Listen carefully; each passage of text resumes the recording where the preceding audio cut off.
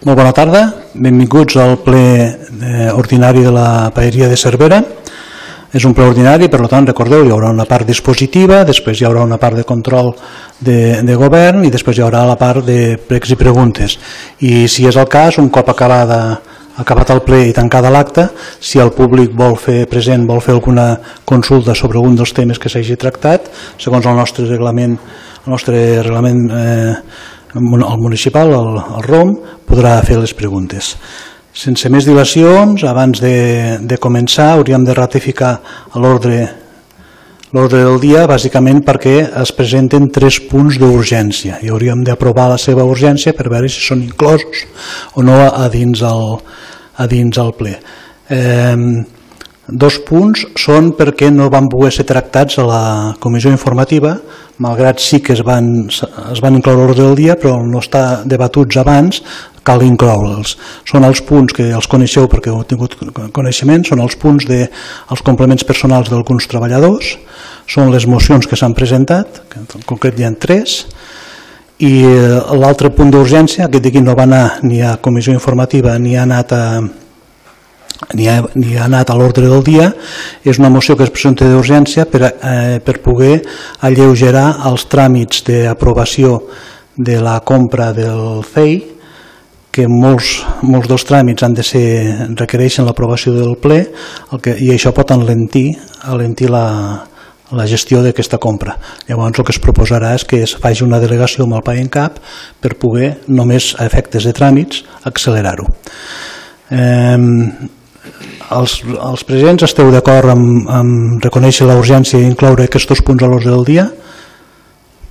Sí. Entenc que per unanimitat, doncs, secretari, queden inclosos els punts que els tractarem amb l'ordre que estan posats, deixant pel final el, el que s'ha inclòs d'urgència directament avui.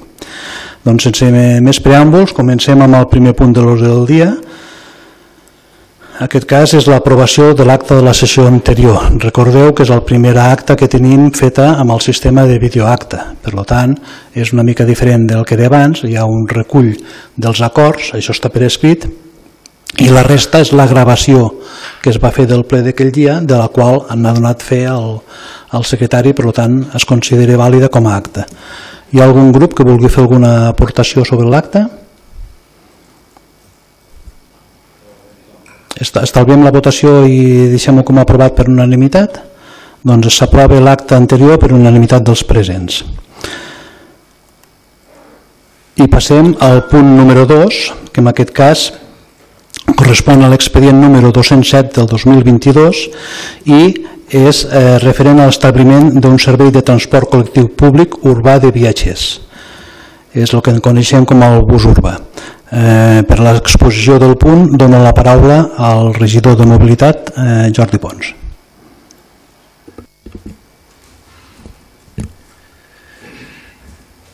Sí, eh, en el passat ple ordinari es va acordar la creació de la comissió d'estudi per crear aquest servei de transport col·lectiu públic urbà de viatgers.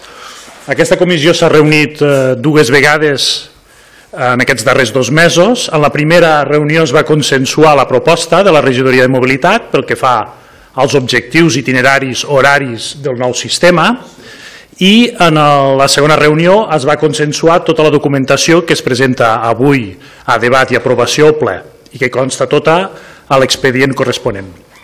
Eh, podem destacar els documents eh, següents. Eh, tenim la memòria justificativa, l'anàlisi del mercat, el projecte de l'establiment del servei i la proposta del reglament del servei de bus urbà. Només a, a nivell de resum, la proposta eh, és la següent. La idea seria que aquest servei es realitzés durant do, dos dies a la setmana, els dimarts feiners i els divendres coincidint amb el dia del mercat setmanal. Serien dos horaris, un al matí i un al migdia. Eh, hi hauria un itinerari, i aquest itinerari passaria per diferents barris de, del nucli urbà. Concretament passaria pel barri dels Ametllers, pel de Sant Francesc, el de Sant Cristòfol, Ciutat Jardí, l'antic camí de Castellnou i la zona centre, que la zona centre tindria la parada a, a l'Hostal Bonavista, davant de l'Hostal Bonavista. També hi hauria la parada possible del barri de Sant Magí, que seria sota demanda. L'objectiu que, que ens han marcat eh, per, per crear aquest servei és eh, bàsicament facilitar la mobilitat a persones grans i amb mobilitat reduïda. També eh, un dels objectius és que, a part de transportar les persones, també pugui transportar els corresponents carrets de la compra, perquè com que coincideix un dels serveis amb el divendres de mercat setmanal, doncs que col·laborar també diguem, a transportar els carrets i les mercaderies que facin falta. En principi, tots els estudis s'han fet amb el càlcul de, eh, per utilitzar un minibús de 22 persones. L'objectiu bàsic d'aquest eh, servei és potenciar-lo per aconseguir que en un futur tinguem major freqüència i més itineraris eh, amb tot el nucli urbà. Apostem per un transport públic, col·lectiu, eficient i sostenible. El pressupost de, proposat de despesa per a aquest servei és d'un total d'uns 15.000 euros anuals i la idea que proposem és cobrar un preu simbòlic per la seva utilització. En principi faríem dues modalitats, és d'un tíquet eh, diari que sortiria per un euro i seria per utilitzar-lo al matí i al migdia i també una targeta multiviatge que costaria 5 euros i es podria utilitzar durant tot un mes natural.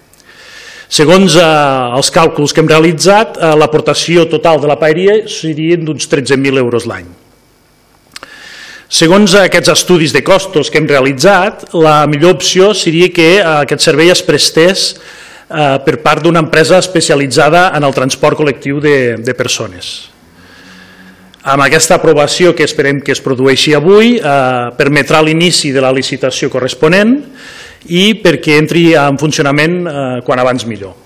La regidoria de mobilitat s'ha reunit diverses vegades ja amb usuaris que utilitzaven aquest servei fa abans de la pandèmia i considerem que és molt urgent que s'iniciï aquest servei.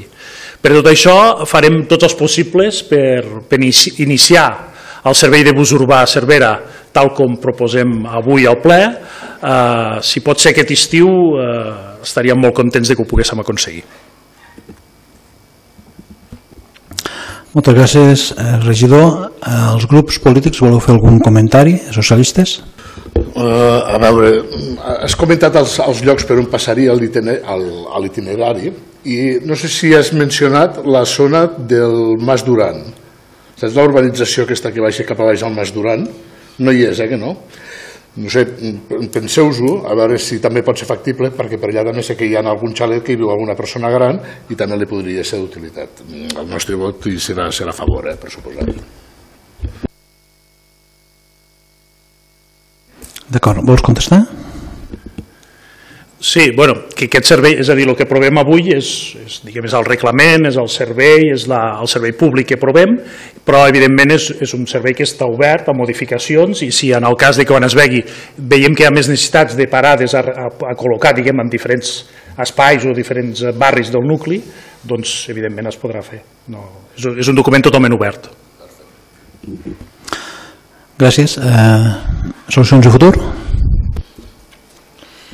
Bé, des de Solucions i Futur, Federació d'Independents de Catalunya, hem defensat sempre la necessitat de tenir un bus urbà. Hem format part de la comissió d'estudi que es va crear a l'efecte, que abans n'ha fet menció al Jordi. I avui, com ell ha dit, es porta a ple doncs, el resultat de les diverses sessions de treball que s'han fet. El bus urbà és un servei pensat per a tota la ciutadania, que això també ho ha dit el regidor, però tal com especifica el seu reglament, està especialment dissenyat per totes aquelles persones vulnerables amb qüestió de mobilitat. Estem convençuts que tot el cost econòmic que té per la paeria i que ja ha dit el, el Jordi Quinere, els beneficis socials, els particulars i els col·lectius són molt superiors al cost econòmic que pugui tenir. Nosaltres hi votarem a favor. Moltes gràcies. Eh, cap més grup vol fer aportacions? Sí, eh, Junts? Estem d'acord i és positiu que puguem disposar d'aquest servei de transport especialment perquè beneficia tota aquella gent que té lluny al domicili del centre ciutat i a les persones amb dificultats de mobilitat. Esperem que amb el nou disseny del servei, que enllaça amb més barris, s'incrementi l'ús d'aquest servei. I votarem a favor. Moltes gràcies. Algú més? Doncs passem, si us sembla bé, a votació. Vots a favor d'aprovar el servei de bus urbà i el seu reglament? Acabem aquí la votació i ha quedat aprovat per 13 vots a favor, cap en contra i cap abstenció. Passem al segon punt, al següent, perdó, segon, següent punt. En aquest cas és, eh, correspon a l'expedient número 73 del 2022 que és, es porta a aprovació del ple el Pla Estratègic de Subvencions pel període 2022-2024. Eh, és un punt que correspon a la regió d'Hisenda, doncs el regidor d'Hisenda. Bueno, presentem avui al ple la, la proposta de pla estratègic de subvencions per 3 anys, el 2022, 23 i 24, que ha estat treballat i consensuat amb totes les àrees de la paeria que otorguen subvencions. L'objectiu que ens han marcat és mantenir l'actual dinàmica per tal de no canviar, sobretot eh, a nivell, no canviar bruscament, eh, la relació entre les entitats i les institucions a nivell de subvencions i la relació amb la paeria. Aquest pla descriu uns objectius estratègics amb els corresponents programes, fitxes, imports i tipus de modalitat, que pot ser directa, nominativa o per concurrència competitiva. L'objectiu a mig termini eh, ens han marcat que seria de reduir les subvencions directes i nominatives i intentar que les subvencions s'otorguin per activitats o per objectius i d'aquesta manera per concurrència competitiva. Així doncs, la mateixa entitat es podria presentar en diferents línies de subvencions. Sabem que això no és fàcil i des de la paeria no podem complicar la gestió i la realització d'activitats de la gran quantitat d'entitats serverines i actives que tenim organitzades. És per això que oferirem tot l'acompanyament que sigui necessari i s'intentarà actualitzar de la manera més progressiva i fàcil eh, aquest pla estratègic. Pel que fa als objectius eh, estratègics subvencionables, S'ha treballat amb les següents àrees i a mode de resum eh, diríem algunes, alguns imports i la quantitat d'objectius estratègics que s'ha marcat cada àrea de la paeria. L'educació present, a eh, l'àrea d'educació, la regidoria d'educació presenta cinc objectius estratègics per un import total d'uns 33.000 euros. Eh, la regidoria d'esports eh, presenta una línia estratègica amb un import d'uns 22.000 euros, la Joventut em presenta una línia estratègica amb 3.000 euros, Acció Social presenta quatre objectius estratègics o línies estratègiques amb un import d'uns 60.000 euros, Salut em presenta una amb 2.700 euros, Festes una amb 2.000 euros, Cultura presenta 8 línies estratègiques amb un import d'uns 33.000 euros, Polítiques feministes una línia amb 2.000 euros, Medi Ambient una línia amb 22.500 euros i finalment Promoció Econòmica presenta tres línies estratègiques per un valor d'uns 11.000 euros. En total estem parlant d'un import anual eh, al pla estratègic de subvencions d'uns 195.000 euros. Això sí, aquest és un pla estratègic, no és vinculant i té l'objectiu d'orientar i determinar la redacció dels propers pressupostos. Evidentment aquest pla cal revisar-lo, cal actualitzar-lo perquè sigui un document viu i útil pel bon funcionament de les diferents àrees i de les entitats i per una distribució justa de les subvencions que gestionem. I per acabar només dic que tal com vam debatre la comissió informativa s'ha ballat l'ordre dels punts 8 i 10 tal com, tal com vam quedar. Moltes gràcies Jordi. Eh, els grups eh, socialistes?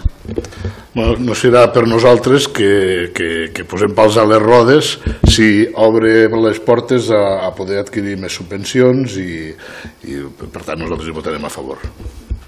Moltes gràcies Raimon. Eh, solucions de futur? Bé, amb aquest punt es dona per complet el que estableix la, gent, la Llei General de Subvencions de les Administracions Locals, que és que la paeria ha de fixar la línia a seguir en el foment d'activitats d'interès general. Per tant, aquest pla recollirà, o hauria de recollir, les activitats que l'equip de govern de la paeria decideixi subvencionar.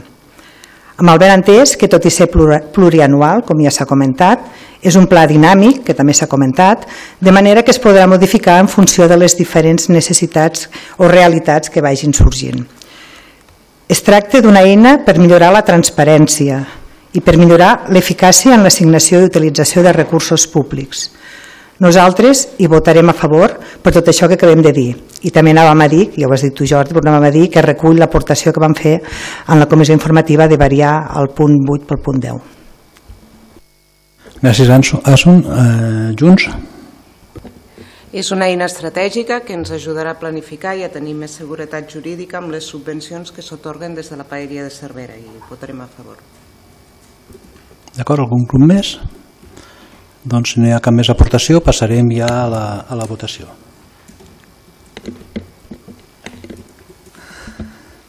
Vots a favor d'aprovar el pla estratègic de subvencions? Doncs igual com el punt anterior queda aprovat per 13 vots a favor, cap en contra i cap abstenció. Passem ja al següent punt de l'ordre del dia. En aquest cas també és un altre pla.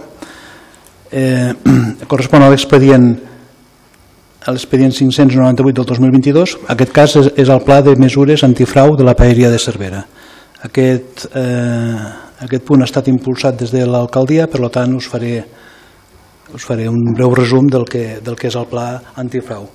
Això apareix des de l'aprovació del Pla de Recuperació i Resiliència, el conegut com el Next Generation, que el, la Comunitat Europea, amb aquest desenvolupament del pla, prosa expressament que hi ha d'existir en, aquelles, en aquelles administracions públiques que gestionin algun tipus de subvenció o algun tipus d'activitat aquí dins, ha de gestionar, ha de, ha de disposar d'un pla de mesures antifrau. El pla de mesures té la funció claríssima de prevenir i detectar i corregir possibilitats de frau, possibilitats de corrupció i possibilitats de conflictes d'interessos, cosa que és, és, és tal com ha de ser perquè evidentment eh, el que s'està treballant és amb diners públics. Els diners públics òbviament són de tots i s'han de gestionar correctament. Eh, la Paeria el que ha fet és elaborar un pla aquest pla és, és bastant estàndard en el sentit de que existeix, existeixen a molts llocs i ha sigut, i ha sigut una, una reflexió sobre els plans que han, que han als diferents llocs, a part de la, del que marca la mateixa llei sobre ells. Es constitueix un comitè entrefau per, per, eh, format per diferents persones que el que fa és avaluar els riscos que hi pot haver quan es fa la gestió d'una acció que estigui subvencionada, en aquest cas pel, pel Next Generations, però també ens pot servir per qualsevol mesura que hagi dintre la, dintre la PERIA per intentar lluitar contra el frau o la corrupció eh, es, es prenen mesures que puguin ser d'abstenció de, de, de les persones que puguin tenir conflicte d'interessos i també mesures de correcció i, i òbviament mesures, eh, mesures sancionadores en el cas de que hi hagi algun tipus de, de intent de frau o de corrupció. Per tant, entenem que és un pla que és necessari, a part de ser una aplicació, una, una obligació legal, és necessari i per això el portem a ple perquè sigui aprovat. Eh, sense més explicacions, el grup de socialistes vol comentar alguna cosa? Bueno, nosaltres eh, esperem que sigui infal·lible, no, no, no que, que funcioni, no, que, que sigui infal·lible, i per tant hi votarem a favor. Moltes gràcies, Raimon. Eh, grup de Solucions i Futur? Sí, molt bé. Aquest pla respon, tal com has dit tu, Joan, no? a, la, a, la, a una obligació legal per poder accedir als fons europeus Next Generation. Però el pla que avui es porta en aquest ple, el pla que presenta la, la Paeria de Cervera, va més enllà dels mínims establerts en, en els fons europeus en quant a polítiques antifrau, no? sinó eh, hauríem de veure el que diu l'annex 4 d'aquest pla, on diu que l'Ajuntament de Cervera es compromet a implementar i divulgar un codi ètic de conducta tant pel personal com pels alts càrrecs de l'Ajuntament.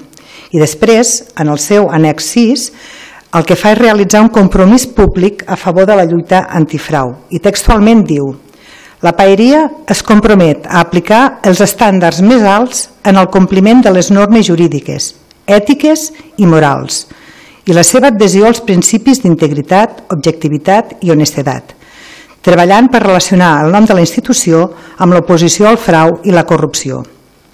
Bé, aquest pla no només és necessari per complir amb el que demana la normativa europea, sinó, com acabo de dir, marque i enmarque totes les conductes i actes de tots els que participem de l'engranatge de la paeria. Nosaltres hi votarem a favor. Moltes gràcies. Eh, Junts? Sí, l'aprovació d'aquest pla ve obligat pel fet que per poder optar a les ajudes europees, especialment als fons Next Generation, ens obliga a tenir-lo aprovat però alhora és una oportunitat per anar treballant dins dels objectius de transparència i bon govern. Aquest pla l'hem d'anar desenvolupant conjuntament amb l'Oficina Antifrau de Catalunya. Moltes gràcies. Algun comentari més? Doncs passem a votació. Vots a favor d'aprovar el pla antifrau? Bé, queda aprovat el pla per 13 vots a favor, cap vot en contra i cap abstenció.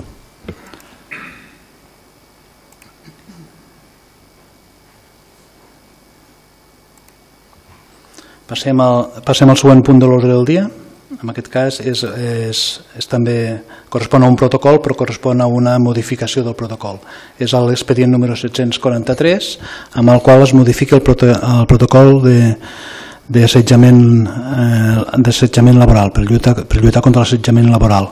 Aquest punt correspon a la, a la, a la regidoria de polítiques feministes i, i LGTBI i té la paraula la Mireia Brandon.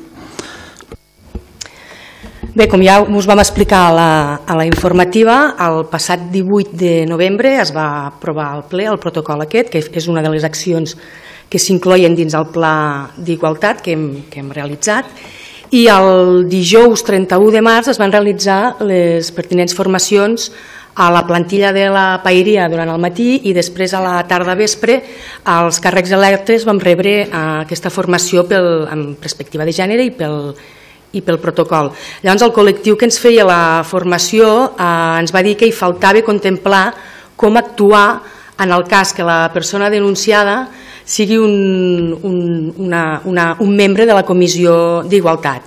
I per tant ara portem aquí aquesta modificació, que si voleu us la llegeixo, està l'article 37, que és a l'estadi inicial en el cas d'algun assetjament, i el que hem afegit és que si la persona denunciada o acusada forma part de la comissió, se la retirarà provisionalment del grup mentre no resolgui la denúncia, ja que és la persona acusada, mentre que la resta dels membres continuen amb el cas fent un seguiment de la denúncia. I després hi ha un altre supòsit, que és en el cas que la persona denunciada o acusada sigui l'alcalde o alcaldessa, i en aquest cas això s'externalitza i es porta a que el cas es distoni des de, la, des de la Generalitat. Llavors el que hem fet és que cada membre de la comissió hem delegat un substitut o substituta en el cas que siguem denunciats. Moltes gràcies, Mireia. Algun comentari del grup de socialistes? Em sembla bé, votarem a favor. Solucions i futur? Sí, nosaltres com no pot ser d'altra manera, també hi votarem a favor, reforça, reforça molt més els possibles afectats al incloure aquests punts que ens van aconsellar en la formació que hi va haver l'altre dia. Moltes gràcies, Asun. Algun comentari? A Junts? Doncs si us sembla bé, passem a votació. Vots a favor?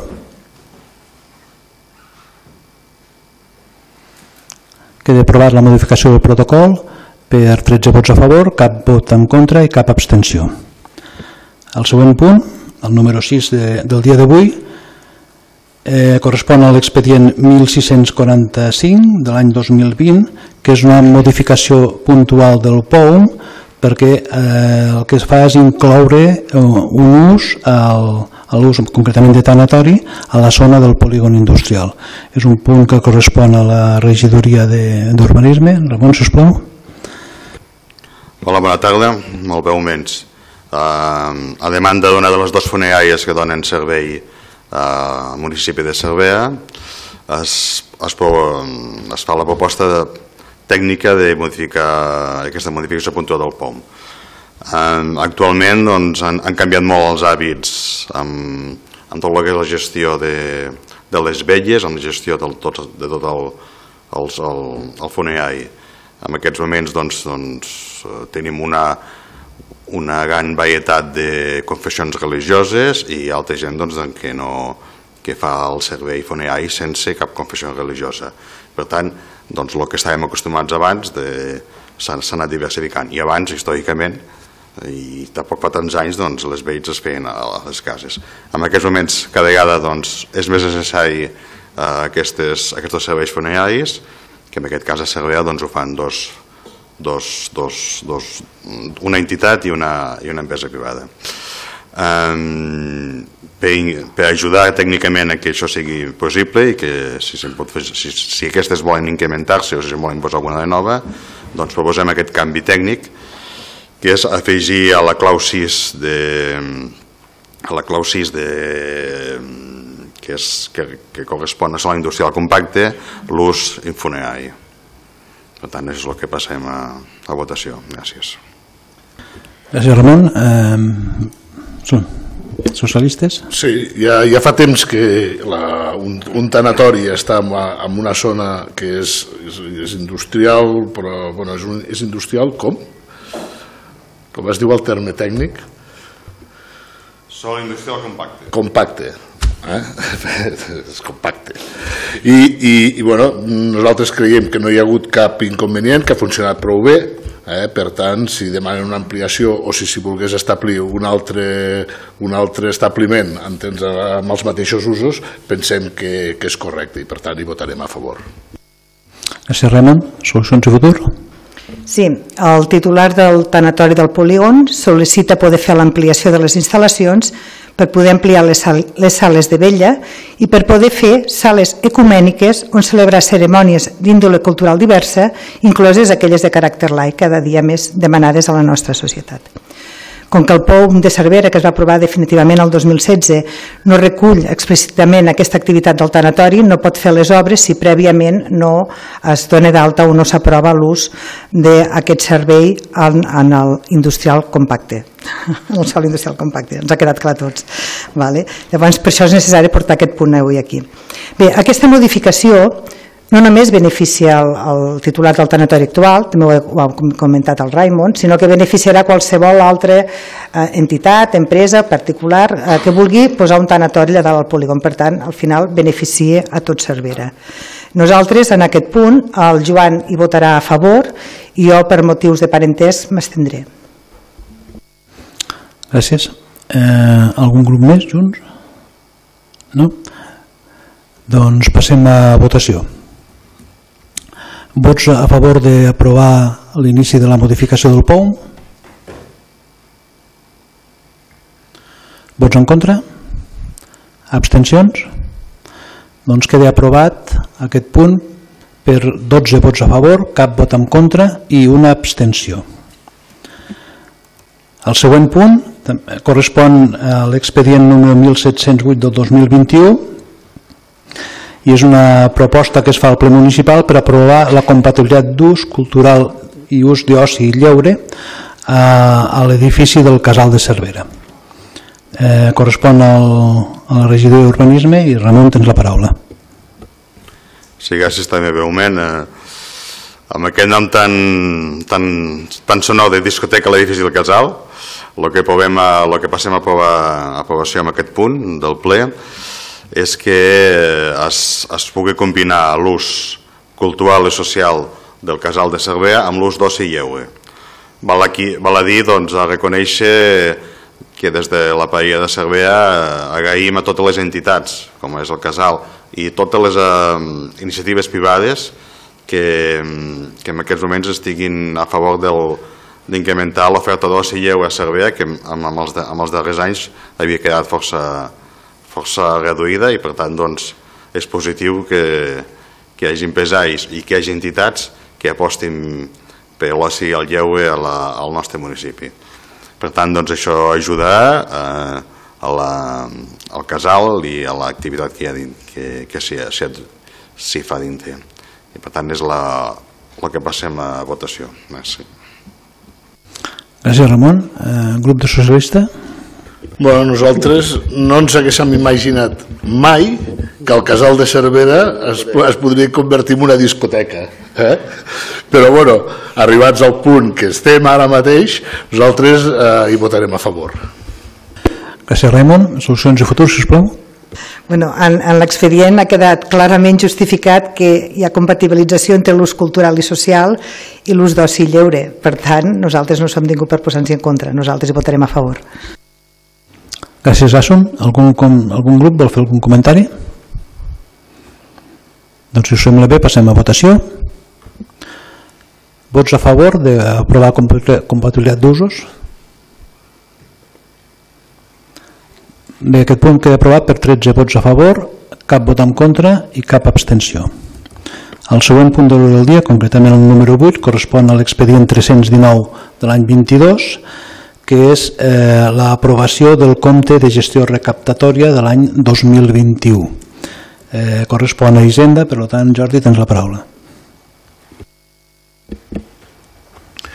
Bueno, portem a aprovació el compte de gestió recaptatòria de l'Organisme Autònom de Recaptació de Tributs de la Diputació de Lleida per l'exercici 2021, dir que l'organisme recapte una taxa per la prestació de serveis per gestionar, inspeccionar i recaptar els ingressos d'alguns tributs municipals i dir també que els drets, els drets pendents que consten en la proposta és el sumatori des de l'any 1998 i en principi és responsabilitat del mateix organisme autònom de realitzar el corresponent seguiment d'aquests drets pendents.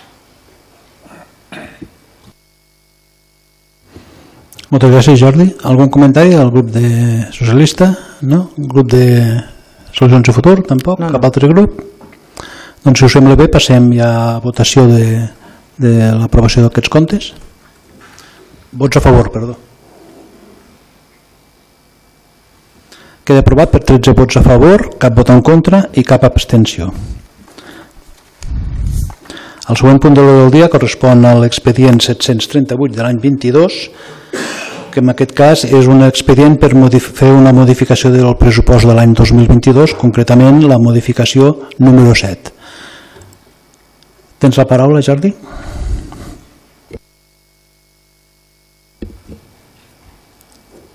Es tracta d'una transferència de, de crèdit entre partides d'urbanisme per tal de donar crèdit a les obres de pavimentació del polígon industrial. Eh, com a equip de govern considerem que és molt urgent realitzar aquestes actuacions al polígon industrial, inversions en termes del paviment i dels carrers i també de millora de la seva senyalització i de la, de la mobilitat i que durant molts anys no s'han mm, realitzat eh, cap tipus de millora en el ferm de la calçada del polígon i que realment està molt castigat pel, pel transport i per la circulació de vehicles de, de gran tonatge. Com que són partides d'urbanisme, no sé si el regidor d'urbanisme vol fer alguna aportació respecte a aquesta modificació. Sí, aprofito d'urbanisme i de promoció econòmica, en aquest sentit que, que l'agafi per les dues bandes. Ramon, sisplau. Sí, gràcies. Eh, no, només comentar molt breument, eh, és la, la primera de les actuacions que, que està previst fer al polígono, que com ha dit el regidor d'Hisenda, doncs, fa anys que no s'hi fa cap actualització i fa molta falta. I, només, i això doncs, ja només la primera, la primera de, les, de les actuacions que, que s'han de fer i que esperem que en els propers anys ho puguem anar fent. Uh, perquè sigui més atractiu a, a nivell de a nivell d'oferta d'oferta. En aquests moments doncs, ens és, des de la PI, com, com totes les altres administracions, eh, ens és molt complicat de, de que les licitacions pels peus i fiquem els peus que teníem a la memòria de simplement fa un any i amb aquest però amb l'últim mig any els, els peus han pujat moltíssim i per tant doncs, alguns, caps, alguns cops ens queden licitacions eh, desertes. Eh, per tant, el que fem és intentar és, és actualitzar la memòria, les memòries amb els preus actuals i ajuntar tres, tres partides. I a partir d'aquestes tres partides, si bé el que es feia és una actuació de, de reforma del, FEM de l'avinguda de la Noguea, una part de l'avinguda del Polígono, la senyalització, fer una part, ajudar a millorar una part de la senyalització del polígon i també, eh, com a novetat, es feia un nou accés al, el, el pàrquing del SEMPA, perquè la, la idea és que sigui de una, una única direcció que senti per la vinguda d'Agamunt i se surti per Vidant de Montpalau i que es tracta de, de fer la sortida cap a Vidant de Montpalau. Gràcies. Gràcies, Ramon. Eh, socialistes? Veure, és un tema que heu portat l'equip de govern. Mm, nosaltres en aquest punt ens hi abstindrem. Això tampoc vol dir que no ens estiguin bé algunes de les coses que ja heu introduït, però mm, ens abstindrem. Gràcies, Raimon. Eh, solucions i futur? Sí.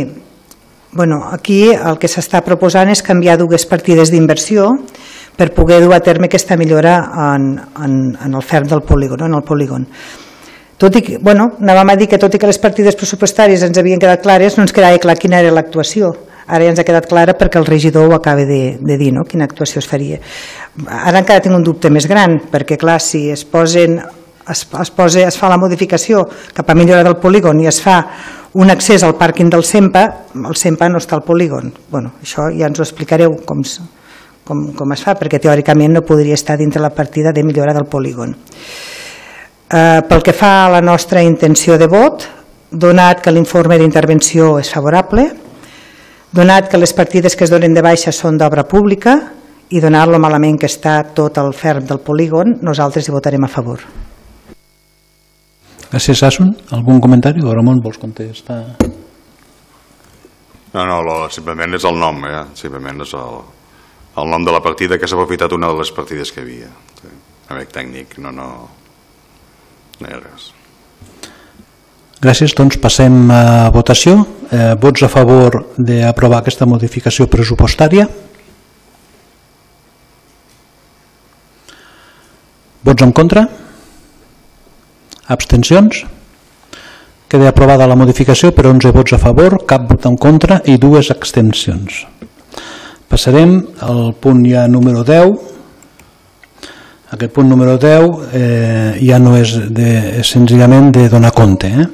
Donar compte de l'estat de compliment dels objectius de la llei orgànica, bueno, perdó, eh, és el punt de, de donar compte de l'execució del pressupost del, 2000, del primer trimestre del 2022 i això suposa també donar compte del compliment dels objectius d'estabilitats de, eh, corresponents a aquest trimestre. Recordar que els objectius de, d'estabilitat estan suspesos des de l'any passat pel govern espanyol i durant el 22 no hi ha obligació de complir-los. Correspon a Hisenda, vols comentar alguna cosa? No, només comentar que estem amb un nivell d'execució general d'un 20% aproximadament i que tant en el pressupost de la paeria com el del conservatori, que més o menys dintre de la línia, que és una quarta part de l'any, doncs que estem dintre de la línia lògica i normal. Algun grup vol fer alguna consulta, alguna... No? Doncs bé, quede perdonat compte. Passem al, al següent punt, el punt número 11, que en aquest cas també es dona compte, en aquest cas de, eh, del, també corresponent al primer trimestre de l'any 22 i és un informe sobre la morositat que té la paeria. Si voleu, vols també comentar-lo? Uh, el, període, el període mig de pagament d'aquest primer trimestre del 2022 Segons l'informe de, de tresoreria, està marcat en 26 dies, eh, és un, estem en una bona línia a nivell de terminis de pagament, tot i que, com diu el mateix nom, és un període mig, evidentment tenim pagaments que superen els 30 dies i el nostre objectiu és que no en tinguéssim cap que superés els 30 dies. Estem contents per aquests 26 dies i a més, eh, si ho mirem a nivell comparatiu, tal com consta a l'informe de secretaria, de l'últim any eh, és la millor dada des del gener del, del 2021.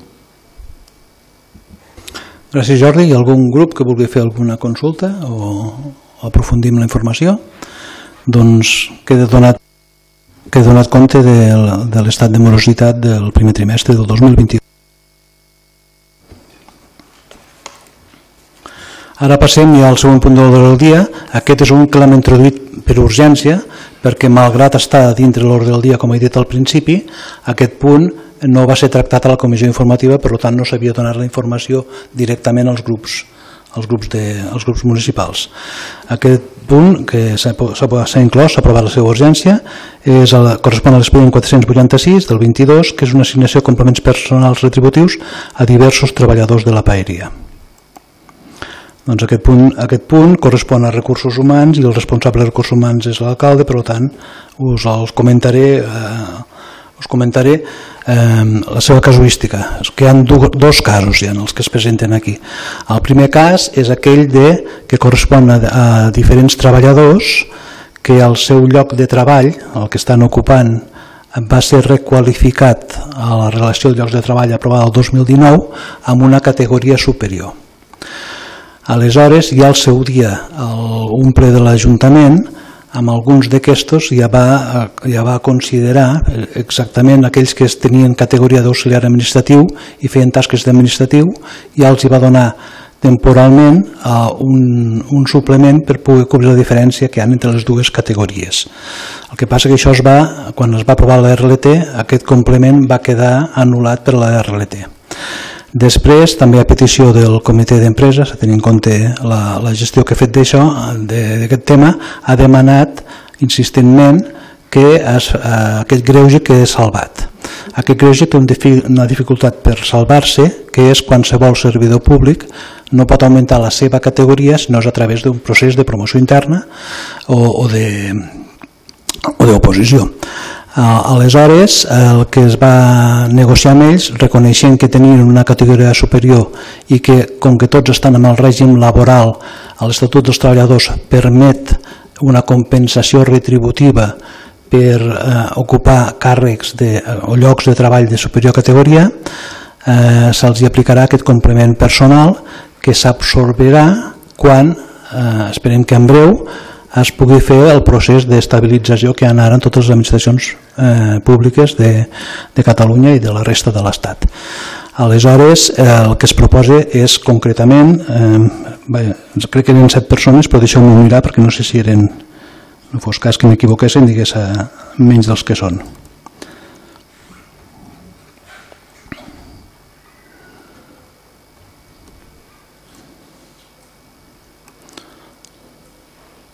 Són vuit persones eh, en concret, els que se'ls actualitza el, el, el, el se'ls paga complement eh, i les quantitats varien segons la categoria que es puja des de 766 euros al, a, a l'any fins a el que més se l'actualitza són 3.400 euros a l'any perquè hi havia molta diferència entre la categoria que, est, que actualment té i la que li correspondria segons el lloc de treball. Aquesta és una de les casuístiques. L'altra casuística ens ve imposada per una sentència de, de un, del, del tribunal, en aquest cas el contenciós administratiu. Hi havia una persona funcionària que al seu dia va canviar de lloc de treball i eh, va, va reclamar aquest canvi de lloc de treball i va tornar, el va guanyar i va ser retornat a la categoria anterior.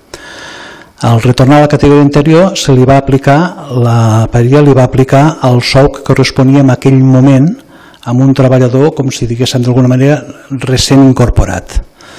Ell va fer, la persona aquesta va fer una, una reclamació dient que li correspondria al, a la retribució que tenia amb el seu dia. Aleshores, eh, aquesta reclamació la va guanyar i el, el tribunal ha fallat contra la paeria i ha obligat a pagar-li el, el sou amb efectes retroactius des de la seva reincorporació al lloc anterior. Aquesta, aquesta indemnització es va pagar però no es va actualitzar el salari. I ara el que es va actualitzar el salari i això ha d'anar per ple perquè qualsevol modificació retributiva igual com el, el cas dels altres 8 persones que se'ls actualitzava el salari qualsevol eh, retribució eh, canvi de la retributiu significa una modificació del pressupost i la modificació del pressupost és competència del ple. Per tant, són aquestes dues casuístiques que afecten a, a nou treballadors de la, de la paeria. La segona gairebé és d'obligat compliment, perquè hi ha una sentència que ens obliga a complir-lo, però llavors han de fer, però encara que sigui així, s'ha de portar a ple perquè, perquè sigui ratificada, ratificada pel ple. No sé si, secretari, si és millor votar-ho per separat o votar-les conjuntament. Millor per separat. Doncs, eh, perdó, us he, he parlat molt però no he donat la paraula a ningú. Socialistes, voleu fer algun comentari? Solucions i futur? Sí, nosaltres volem fer un, un petit comentari. Bé, no, volem fer un petit comentari amb el complement personal dels treballadors, eh, amb el que ens ve eh, per sentència ferma, doncs no queda cap altre remei que atendre el que, el que, diu, el, el que diu la sentència. No? Amb el que és el complement personal dels treballadors, nosaltres només és un petit apunt, eh? és, és un complement personal que es va pactar o es va acordar en una mesa negociadora de fa cinc mesos Només és això, que agrairíem que tot el que té a veure amb els treballadors hi hagi la màxima celeritat possible. Nosaltres votarem a favor de les dues, dels dos punts que van en aquest punt. Gràcies, Asun. Algun comentari? Algun altre grup? Doncs, si us sembla, passem a la votació. Votarem en primer aquest que afecta els vuit, els vuit treballadors que passen a actualitzar-se el seu salari per tenir major categoria, per d'alguna manera que així ens entendrem tots. Eh, vots a favor? Vale. S'aprova aquest apartat per 13 vots a favor, cap en contra i cap abstenció. I el segon, ara la segona votació correspon a l'actualització del salari segons la sentència judicial guanyada pel, per la persona treballadora amb el segon cas. Eh, vots a favor? També s'aprova per 13 vots a favor, cap vot en contra i cap abstenció.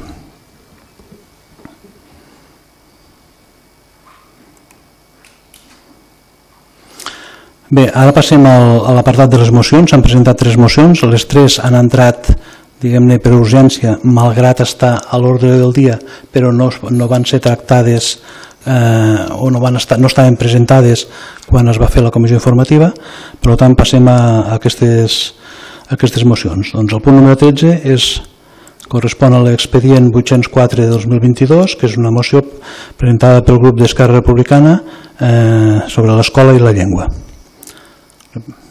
Mercè? Sí, gràcies.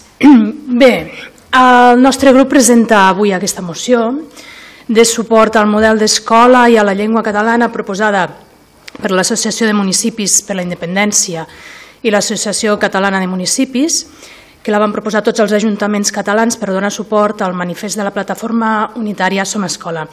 Aquesta eh, moció va sorgir davant de la sentència del Tribunal Superior de Justícia de Catalunya que obligava a tots els centres educatius catalans a fer un mínim de, aquest mínim del 25% de les classes en castellà. I avui el nostre grup la, la presenta just en aquest ple perquè és una moció de país impulsada per dues entitats, l'AMI i l'ACM, sense color polític, la qual s'ha presentat a molts ajuntaments del país i on s'ha assolit el, concert, el consens de totes les forces sobiranistes. Si us sembla, només llegiré els, els acords, per no llegir-la tota, perquè tots la tenim. I els acords diu, fem una crida al conjunt de la societat catalana a mobilitzar-se per defensar per defensar el model educatiu català instem a reforçar el treball conjunt per a consolidar-lo, protegir-lo i millorar-lo.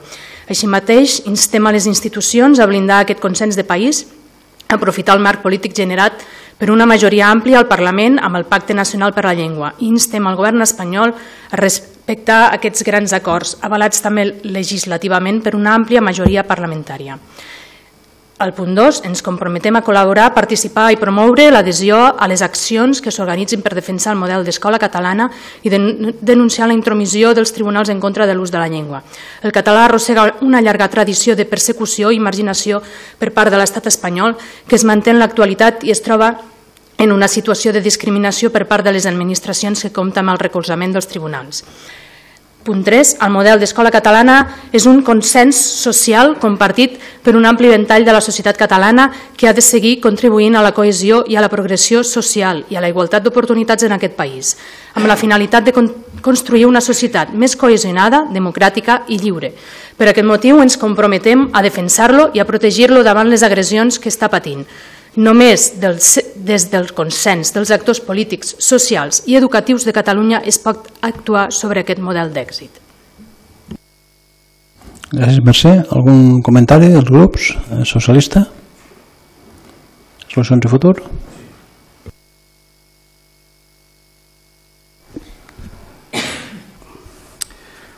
A veure, el nostre vot serà a favor. Però tot i això, l'explicació la donarem en la següent moció que presentem junt, junt amb la CUP a instància de cinc organitzacions de Cervera. Tot, això, tot i això, volem comentar que després d'aquesta moció i la següent queda clar que tots els grans partits polítics de Catalunya esteu d'acord en la defensa del català, que, en que la defensa del català és necessària i primordial. És una llàstima que en una qüestió tan important com aquesta no sigueu capaços de posar-vos d'acord. Algun comentari més, Junts? Sí, segons el posicionament penjat a la web de Som Escola, rebutgen la proposta de modificació de la llei de política lingüística i reclamen que s'obri un espai de diàleg honest amb Som Escola i que l'acord dels partits s'ampliï a l'àmbit social, incorporant les esmenes i compromisos paral·lels que permetin assolir un acord de màxim consens, des de Junts considerem que aquesta demanda no queda reflectida en la moció presentada per Esquerra. Per això el nostre vot serà d'abstenció, tot i que estem d'acord en moltes de les coses que planteja la moció. Gràcies. Algun comentari més? Mireia?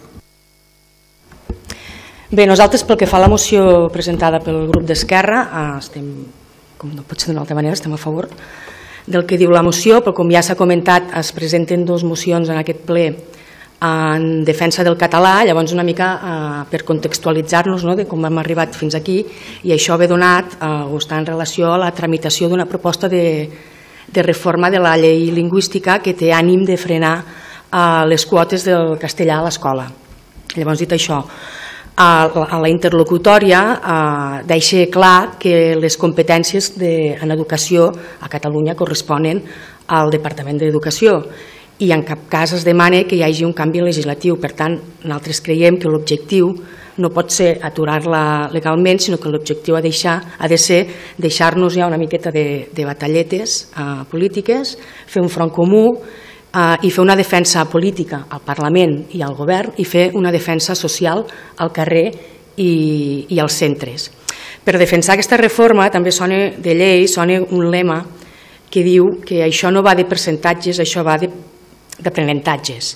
Perquè el, aquest lema, nosaltres creiem que, bueno, a part que ens sona una mica naïf, eh, no fa més que situar eh, l'objectiu en què no s'imposa un percentatge concret sinó que es faci d'acord amb la realitat sociolingüística de cada centre.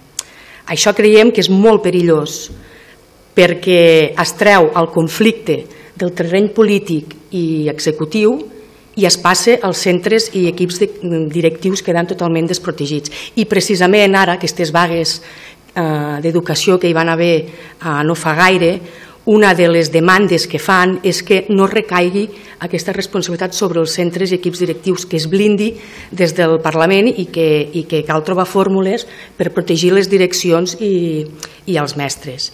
Llavors, per part nostra, com ja hem dit al començament, estem totalment d'acord amb la moció i votarem a, a favor però seguint amb la línia aquesta que comentava ara de, dels centres i la comunitat educativa, nosaltres destaquem d'aquesta moció el tercer acord on es demana consens dels actors polítics, dels actors socials i dels, i dels actors educatius i precisament per aquest motiu eh, creiem que té més sentit a la moció que debatrem ara a continuació de la immersió lingüística, que precisament ha estat presentada per cinc entitats polítiques, socials i educatives, i a més a més ens sorprèn quan precisament el, el conseller d'Educació, el Cambrai, ha pres decisions eh, sense consens de la comunitat educativa i està en una posició de xoc amb aquesta comunitat educativa que mai vista amb, amb anys. Però tot i així nosaltres votarem a favor perquè estem a favor del contingut. Gràcies. Algun comentari més? Doncs passem a votació. Vots a favor d'aprovar aquesta moció?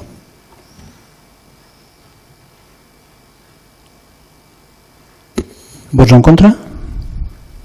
Abstencions?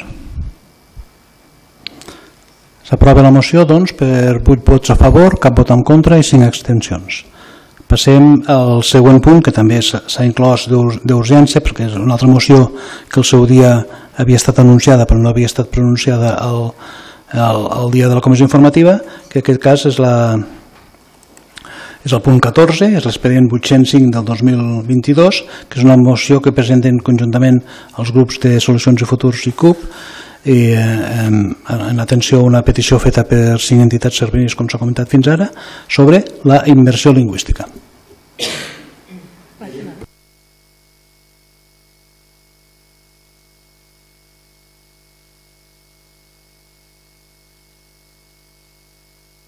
No? Llegim els acords proposats. Si cas, el que farem potser és primer dir les entitats que presenten aquesta moció. Serà, les entitats que presenten aquesta moció són Òmnium Cultural Segarra Urgell, Consell per la República de Cervera, Sindicat d'Estudiants dels Països Catalans, Agrupament Escolta i Guia Coll de les Sabines i la Forja Jovent Revolucionari i la proposta d'acords que presenten per tal d'aprovar el ple són, primer, manifestar el ferm compromís del consistori amb el sistema d'immersió lingüística com a eina de cohesió social i lluita contra la segregació, així com de protecció de la llengua catalana. Segon, rebutjar qualsevol atac al model d'escola pública en català i garantir el desplegament de la immersió lingüística com a eina de cohesió social i igualtat d'oportunitats. Tercer, exigir al Departament d'Educació de la Generalitat de Catalunya que protegeixi els equips directius i docents de la imposició del 25% del castellà a les aules de les escoles i instituts del nostre país. Quart, reclamar als grups parlamentaris d'Esquerra, Junts, PSC i Comuns que retirin la proposició que modifica la llei de política lingüística i que en facin una de nova cercant el consens de la comunitat educativa i de les entitats en defensa de la llengua. Cinquè, instar al govern de la Generalitat a obrir un procés de debat ampli amb el conjunt dels agents socials, professionals de l'educació, famílies i estudiants, per consensuar amb aquests el futur del model lingüístic, que ha de basar-se en el català com a llengua vehicular, ha de comptar amb els recursos suficients, especialment de suport a l'alumnat que, que ho són, com ho són les aules d'acollida, i ha de continuar garantint la cohesió social i la pervivència de la llengua. Sisè, donar suport a la tasca que fan els nostres docents, posant a la, a la seva disposició els recursos que com a administració local tenim a l'abast per reforçar l'ús del català a les aules, transmetre aquest suport als centres educatius del municipi. I setè, comunicar aquests acords a la premsa, al Govern de la Generalitat, a la Conselleria d'Educació, als grups parlamentaris d'Esquerra, Junts, PSC i Comuns, als centres educatius del municipi i a les entitats de promoció per la llengua. Gràcies, Jordi. Els grups, algun comentari? Socialistes? Algun comentari a la moció? No, no, ens abstindrem. Vale. Eh, solucions de futur? Sí. Mm. Bueno, com bé dit el Jordi, presentem aquesta moció, nosaltres no, som, no, no acostumem a presentar gaires emocions, però si les entitats de Cervera ho, ho sol·liciten, doncs, i són qüestions que afectin a la ciutadania de Cervera, a la ciutadania de Cervera nosaltres eh, intentem, intentem entomar-les i defensar-les. Com bé dit el, el Jordi, es presenta a petició de cinc entitats de Cervera, les repetiré, agrupa, agrupament Escolta i Guia Coll de les Sabines, Consell Local de la República de Cervera, Òmnium Cultural, Segarra Urgell, Sindicat d'Estudiants dels Països Catalans i la Forja Jovent Revolucionari. A veure, perquè per una banda, tal com bé diu la pròpia moció, la immersió lingüística en català ha estat des dels seus orígens un model de referència de l'escola catalana. El model es basa en principis pedagògics, i permet el ple domini competencial tant del castellà com del català i cerca la no segregació per motiu de llengua, així com la cohesió social. Per altra banda, i en particular, el sistema educatiu de les escoles i instituts de Cervera ha demostrat sobradament al llarg dels darrers anys que és un sistema bo, eficient i integrador, que fa que l'alumnat acabi els seus estudis amb un alt nivell de coneixements i capacitació. Per aquests motius, presentem aquesta moció i hi votarem a favor. Gràcies. Eh, Junts? Sí.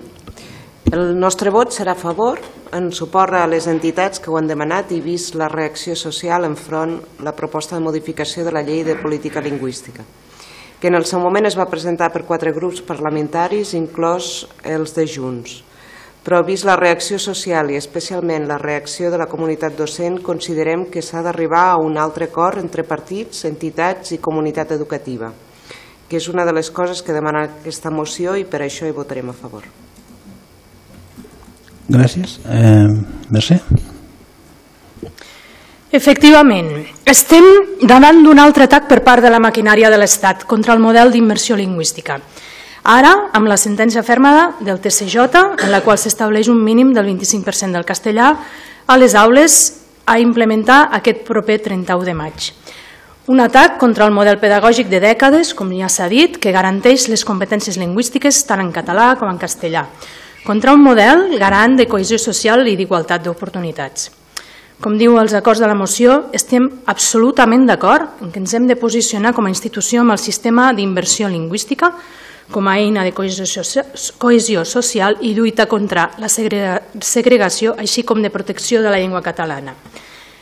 També que rebutgem qualsevol atac al model d'escola pública i en català i que cal garantir el desplegament de la immersió lingüística com a eina de cohesió social i igualtat d'oportunitats. Que demanem al Departament d'Educació de la Generalitat de Catalunya que protegeixi els equips directius i docents d'aquesta imposició del 25% del castellà a les aules de les escoles i instituts del nostre país. Que com a consistori ens cal donar suport a la tasca que fan els nostres docents, posant a la seva disposició els recursos que com a administració local tenim a l'abast a l'abast per reforçar l'ús del català a les aules i transmetre'ls aquest suport als centres educatius del municipi. Ara bé, no estem d'acord amb que, de, en que, de, perdó, que de la llengua se'n faci un ús partidista. No estem d'acord a resignar-nos a complir la sentència del 25% de castellà a les aules i renunciar a tenir més eines per defensar el català en una suposada desobediència, deixant així la llengua a mercè dels tribunals. No fer res no és una opció, no en fem populisme. Per això Esquerra, el partit a qui va adreçada aquesta moció, farà tot el que estigui en les mans del govern, el necessari per a blindar el català a l'escola. I sí, justament per a protegir les direccions, per a que les direccions i els mestres no siguin assenyalats, perquè qui ha d'actuar és el departament. Gràcies, Mercè. Algun comentari més? Ai, perdó. Ah. Perdó, perdó. perdó. Sí, sí, no, no. Disculpeu, a l'haver parlat primer em pensava que ja estava... Eh, eh, bueno. Endavant, Jordi. Sí, sí, hem llegit la moció, els acords. Els acords. Bueno, com ha dit el Joan i la mateixa Mireia, eh, destacar les cinc entitats que presenten la, la moció, que són entitats referents, algunes amb cultura, amb, amb política independentista, com a sindicat estudiantil, referent també, com a entitat referent també en l'educació del lleure i com a entitat juvenil referent també en política independentista al nostre municipi, al nostre país. Destacar, diguem, que aquestes cinc entitats són les que presenten conjuntament aquesta moció. I només una reflexió sobre aquesta proposició per la modificació de la llei de política lingüística al nostre país. És a dir, com a país, què hem de fer? Obeir una ordre d'un tribunal, tribunal espanyol? No, això no ho farem mai, eh, que no, no, no, no, podem, no podem obeir una, or, una ordre o una sentència d'un tribunal espanyol eh, injusta, no? I més contra va, si va contra la inversió lingüística. Aquí gairebé ens hi trobarem tots Eh, I si obeïm una llei sorgida del Parlament de Catalunya? Aquí sí, aquí ens hi podem... Aquí tots obeirem la llei proposada pel Parlament de Catalunya perquè segurament serà justa i a més la dictaminarà eh, el Parlament de Catalunya. Però el problema és, és un, és a dir, si aquesta llei és conseqüència d'una ordre d'un tribunal espanyol, què fem? Això no és el mateix obeïm una llei del Parlament de Catalunya, però en el fons estem seguint una sentència d'un tribu tribunal espanyol que té l'objectiu clar de minoritzar la nostra llengua i convertir-la en una llengua residual. Sabem que aquesta persecució del català no s'aturarà aquí, però per això hem de dir prou, blindar el català des del consens de tots els agents socials del país i no podem normalitzar aquesta persecució ni portar aquest debat a les direccions dels centres educatius. Com a país hem de continuar lluitant per la immersió lingüística del català, però això hem d'arribar a un consens i enfrontar-nos amb aquesta sentència. Si com a país vam ser capaços d'organitzar l'1 d'octubre, no podem cedir davant d'aquest greu atac a la nostra cultura, al nostre país i a la nostra llengua. No ens fem trampes al solitari i lluitem. Eh, merci. Sabem el contingut de la modificació? Res més, no vull dir res més.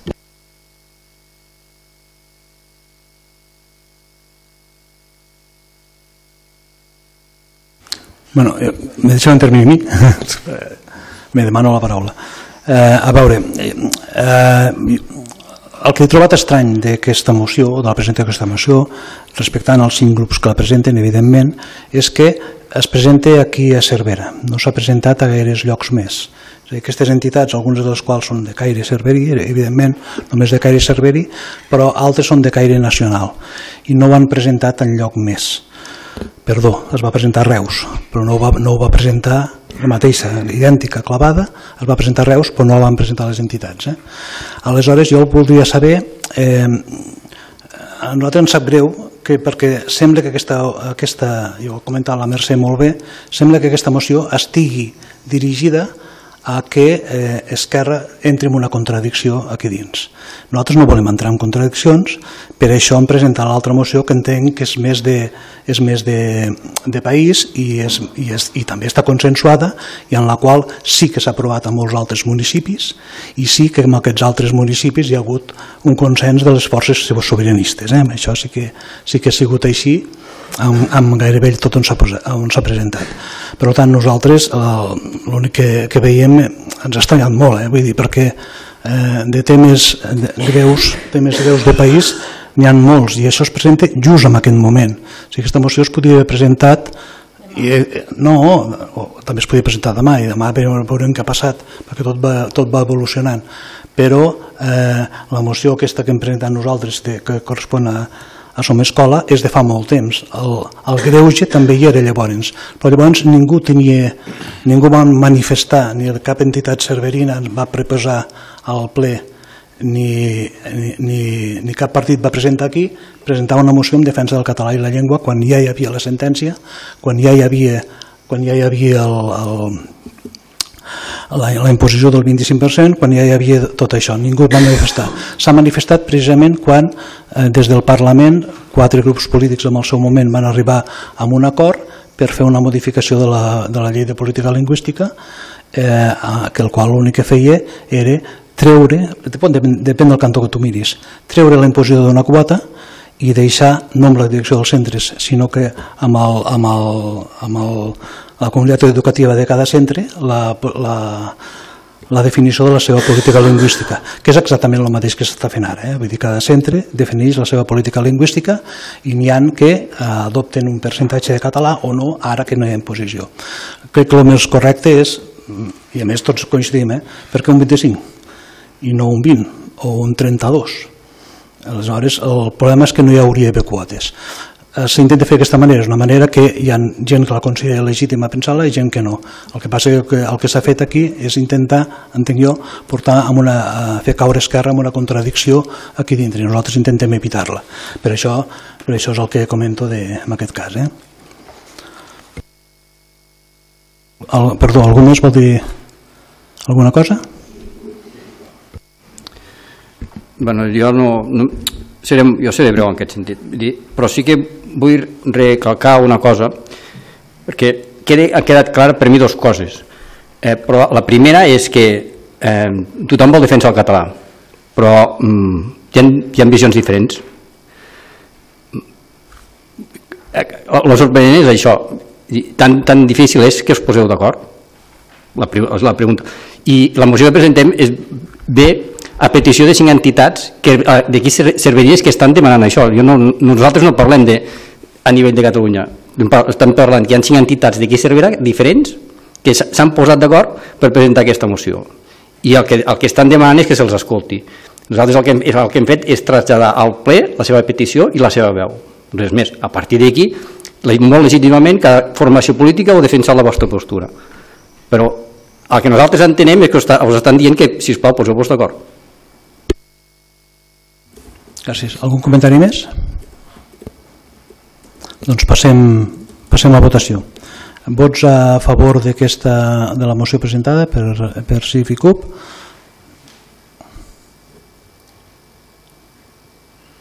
Vots en contra? Abstencions? Queda aprovada la, la moció per 7 vots a favor, 4 vots en contra i dues abstencions. Em sembla no m'he descomptat. D'acord, passem al, al següent punt de, de l'ordre del dia, que en aquest cas és una, una tercera moció, en aquest cas presentada pel grup de Junts, en defensa de la pagesia i, i, dels, i eh, sobretot davant dels, dels greus danys que hi ha hagut davant de, de les darreres gelades. Té la paraula el grup de Junts. Sí, gràcies. Des de Junts entomem la, aquesta moció doncs, que Unió de Pagesos ha passat a tots els ajuntaments i partits de, de Catalunya. a vegades, eh, em sembla que l'últim ple, a vegades ho hem dit, no? a vegades aquest, aquestes mocions, tot i que les presentem inclús a fora de temps i just hi ha problemes administratius amb, el, amb, el, amb secretaria, però, però sota per desgràcia el món que canvia cada dia i llavors es van, van perdent actualitat. Eh, per tant, només perquè en aquests moments no només tenim el problema de les gelades eh, amb, amb el sector primari, sinó ja en aquests moments. I fa dues hores i mitja sortia a la, a la televisió pública catalana sortien un camp de la Segarra, un camp de Cervera, del municipi de Cervera, la Penyalosa, eh, d'ordi, que s'ha quedat quemat i ha quedat blanc de, de, de verd a blanc en, en dos dies i per tant doncs, el, els efectes de la gelada també ja ho hem de fer ens ja hem d'ajuntar aquests efectes d'aquesta calorada que tenim aquests dies que segur que aquesta via del pa la patíem. Eh, és molt tècnica la, la moció per tant jo crec que la puc llegir jo crec que no val la pena que la, que la diguem, fiquem els, la diguem tots els, els tecnicismes que té. Bàsicament són quatre punts instar el govern de l'Estat a que faci les mesures adients per ajudar les, a la a tota la, la pagesia i també a tota la indústria i tota la comercialització que va lligada a, especialment amb el, a la plana de Lleida al sector de la fruita, però també a, la, a la, tota la Catalunya central amb el cereal. El mateix amb, el, amb les seves competències diferents, instar el govern de la Generalitat a que ajudi amb, el, amb totes les mesures amb les quals són competents i, i pot fer-ho instar tant a l'Estat com al govern de la Generalitat a millor el sistema d'assegurances agràries. Aquest sistema d'assegurances agràries a l'estat espanyol, encara que és pioner a nivell mundial i és el més, el més ampli i universal que hi ha a nivell mundial, eh, la realitat del canvi climàtic, la realitat de les noves, de la, de les noves formes de fer, de fer agricultura ens estan provocant que s'està quedant obsolet i per tant s'ha d'actualitzar. I per actualitzar bàsicament el que fa falta és ficar més cèntims públics que ja n'hi ha. Bàsicament són els tres punts que demanem l'altre és notificar. Eh, per tant demanem el, suport amb aquesta, aquesta moció no només pels punts, pels punts eh, que posa, sinó per doncs, donar suport a totes les dificultats que té el sector agrari. També a, a, tot, a la, a, en aquest cas doncs, la Catalunya Central i el Plana Lleida, però també el municipi de Cervera. Només amb aquesta descontrolització, ahir, ahir a la tarda van arribar un acord a les entitats agràries amb, la, amb el Departament d'Acció Climàtica i per tant, doncs, d'alguna doncs, manera, el punt, el punt 2, en certa forma, doncs, s'ha doncs, arribat a l'acord. Ara falta doncs, que l'Estat doncs, també hi compleixi amb, el que, amb les demandes que fa el sector. Gràcies. Gràcies, Ramon. Algun grup vol fer alguna aportació? Socialistes? Nosaltres hi votarem a favor. Gràcies, Raimon. Eh, resolucions de futur?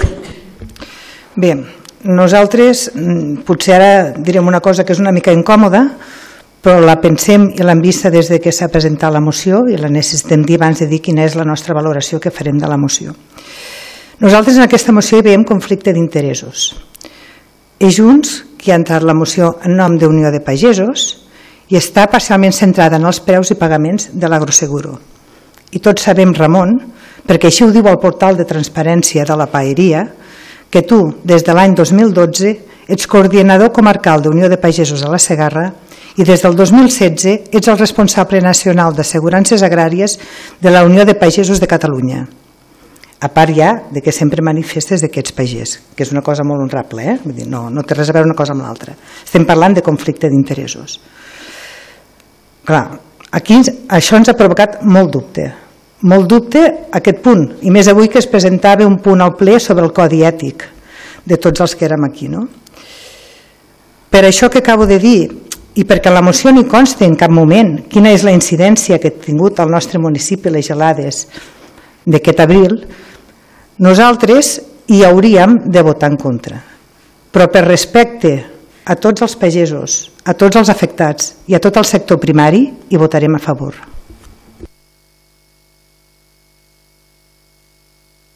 Gràcies, Asun. Algun grup? Sí, sí.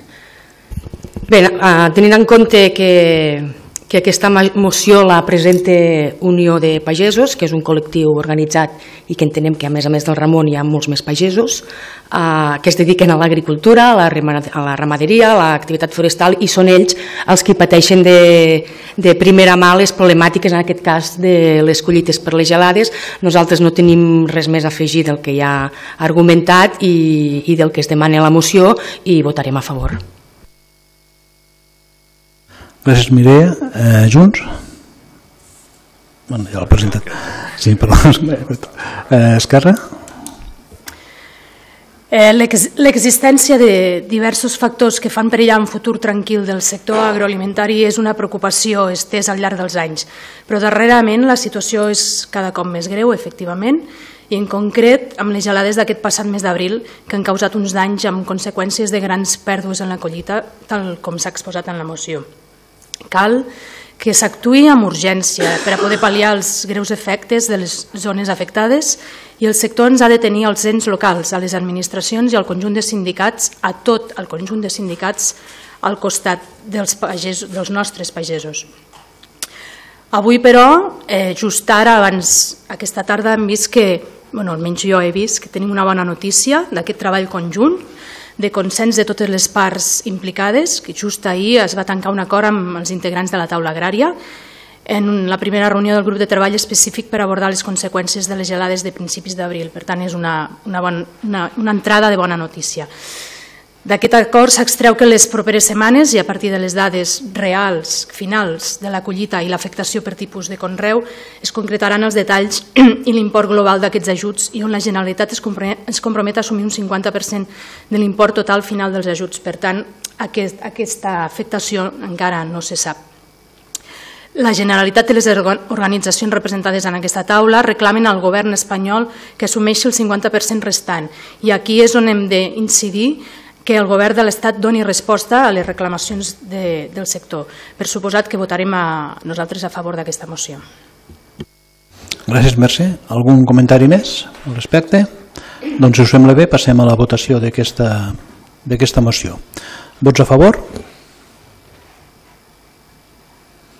S'aprova la moció per 13 vots a favor, cap en contra i cap, i cap abstenció. Perdó, Passem al següent punt de l'ordre del dia, que és aquell que he fet referència al principi, que no havia estat ni a la, ni a la comissió informativa, ni estava l'ordre del dia, eh, i que s'ha presentat d'urgència avui aquest matí, per tant demano disculpes per la, per la, la, la, la premositat en fer-ho, però eh, creiem que s'havia de fer. Correspon a una proposta de delegació de les competències del ple al PAENCAP reduïda exclusivament a la gestió de l'elaboració de del contracte que s'hagi de fer amb l'Incasol per, eh, per poder comprar la nau coneguda com la LEAR o, o el FEI. Eh, segons la normativa, això, eh, bueno, aquest tràmit significarà eh, una operació de crèdit, és a dir, demanar crèdit amb algun banc, i segons l'operativa, eh, la normativa, per l'import del crèdit, la competència correspon al ple que passa que eh, aquest tipus de modificacions o d'operacions segurament amb el ritme amb el ritme de plens que tenim no ens aniria fins d'aquí dos mesos i això podria retardar el, el, la compra del, de la nau amb el perjudici que significa de que es va pagant el lloguer mensual. En aquest cas eh, s'ha suspès lo del lloguer mensual, però si veuen que s'allarga ens ho poden tornar a posar. Per tant, nosaltres creiem, eh, a instàncies de, de l'equip jurídic nostre, de que fer aquesta delegació puntual per aquest cas eh, ens permetria accelerar l'accés a crèdit i accelerar tota la, totes les gestions que s'hagi de fer per aprovar el contracte de compra-venda i signar-lo. Eh, no té més explicació eh, aquest, aquest, aquest tema. Si voleu opinar els grups eh, socialistes. A nosaltres ens sembla bé i votarem a favor. Gràcies. Eh, solucions de futur? Sí, no es tracta de continuar o tornar a pagar lloguer, es tracta de que la nau passi a propietat amb els termes en què es va aprovar en el ple extraordinari. Nosaltres hi votarem a favor. Gràcies. Algun comentari més d'algun grup? Doncs si us sembla bé, passem a aquesta proposta de delegació a, eh, a, a votació. Eh, vots a favor? S'aprova per 13 vots a favor, cap en contra i cap abstenció. hem acabat ja amb la part diguem propositiva i ara és quan ve la part de, de control. Concretament eh, parlarem dels decrets, dels decrets de caldia que s'han fet des del darrer ple, que és el punt que ve ara,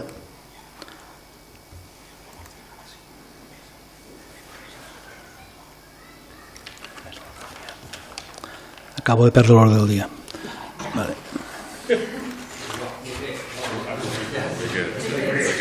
Sí, sí, vale. sí però no, no, no tinc els números, ara, perdoneu. Eh, es dona compte dels decrets del número 71 al número 160. Algun, algun grup vol fer alguna d'això? Eh, socialistes no? Eh, solucions i futur? Si us plau, digueu el número dels decrets, el, així de correguda, llavors el regidor corresponent, bueno, en aquest cas decrets me toquen tots a mi, o sigui que... Hi ha quatre decrets, Joan. Vale, bueno, només, vale. vale. Quatre decrets. No, no, cinc resolucions. No, Bé, eh, començarem pel decret 132, autorització a lectors de matrículos als accessos al carrer Major i al carrer Guinedilda. Dic primer tots els decrets o ja explico cada decret? Explico cada decret. Podem passar a explicar-los cada un. Sí. Vale, bueno, eh, L'explicació és molt breu eh, de tots els decrets que portem. El decret diu que s'ordena ja posar les càmeres de lectors de matrícules a l'entrada del carrer Major i a l'entrada del carrer Guinedilda.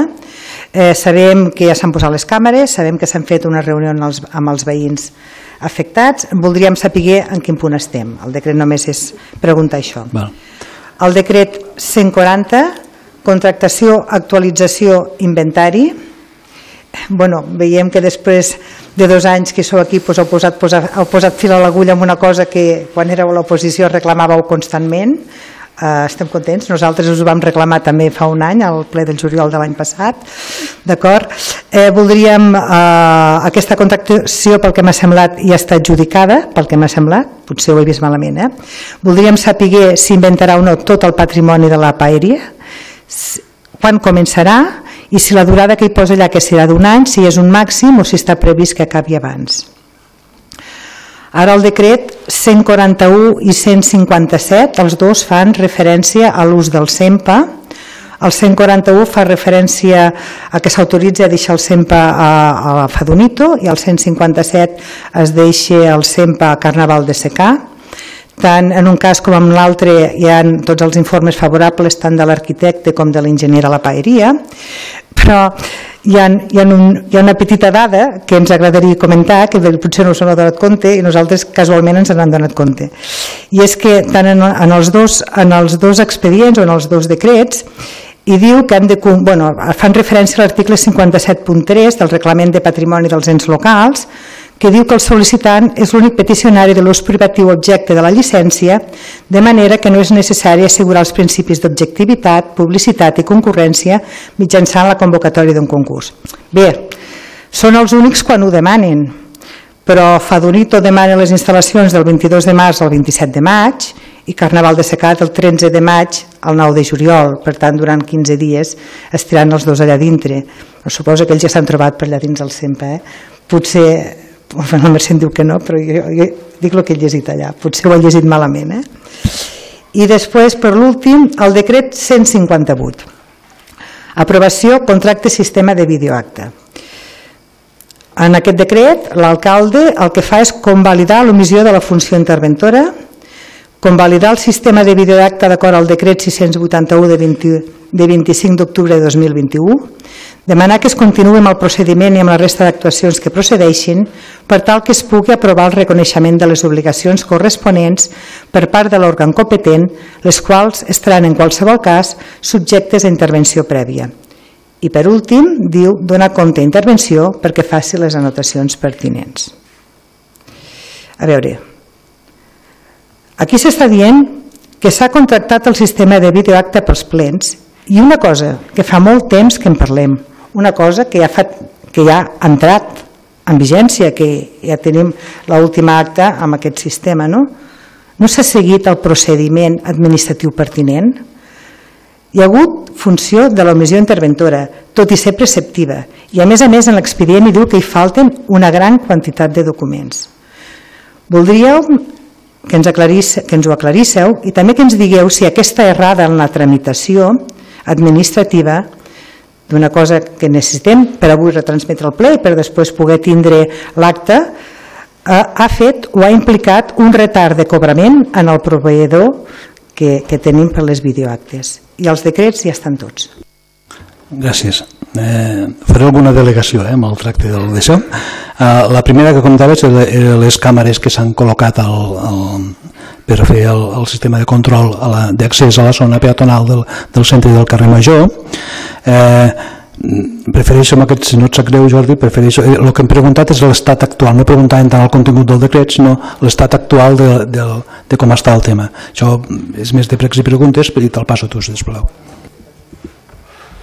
No, eh, les matrícules ja fa fins i tot setmanes que estan col·locades, es va iniciar tot el procediment de participació ciutadana convocant a les associacions de comerciants d'aquí Cervera i a, i a l'associació de veïns del carrer Major i del centre. No, no, està molt, no funciona massa, el que vam fer és una reunió general a l'auditori oberta a tots els veïns per tal d'explicar i d'intentar consensuar el nou reglament que ha de regular tot el que és l'accés de vehicles motoritzats a la zona centre i a la zona del carrer Major Després d'aquesta reunió que vam fer és, veient la complexitat de fer una aplicació i la redacció i aprovació d'un reglament que, que englobés diguem, la, la, la normativa de tots aquests dos eh, sectors de Cervera que són amb unes casuístiques molt diferents, el que vam decidir és començar a treballar al reglament del carrer Major, Ara estem treballant amb el reglament del carrer Major, hem realitzat ja una reunió amb l'Associació de Comerciants del carrer Major, una reunió amb l'Associació de Veïns del carrer Major,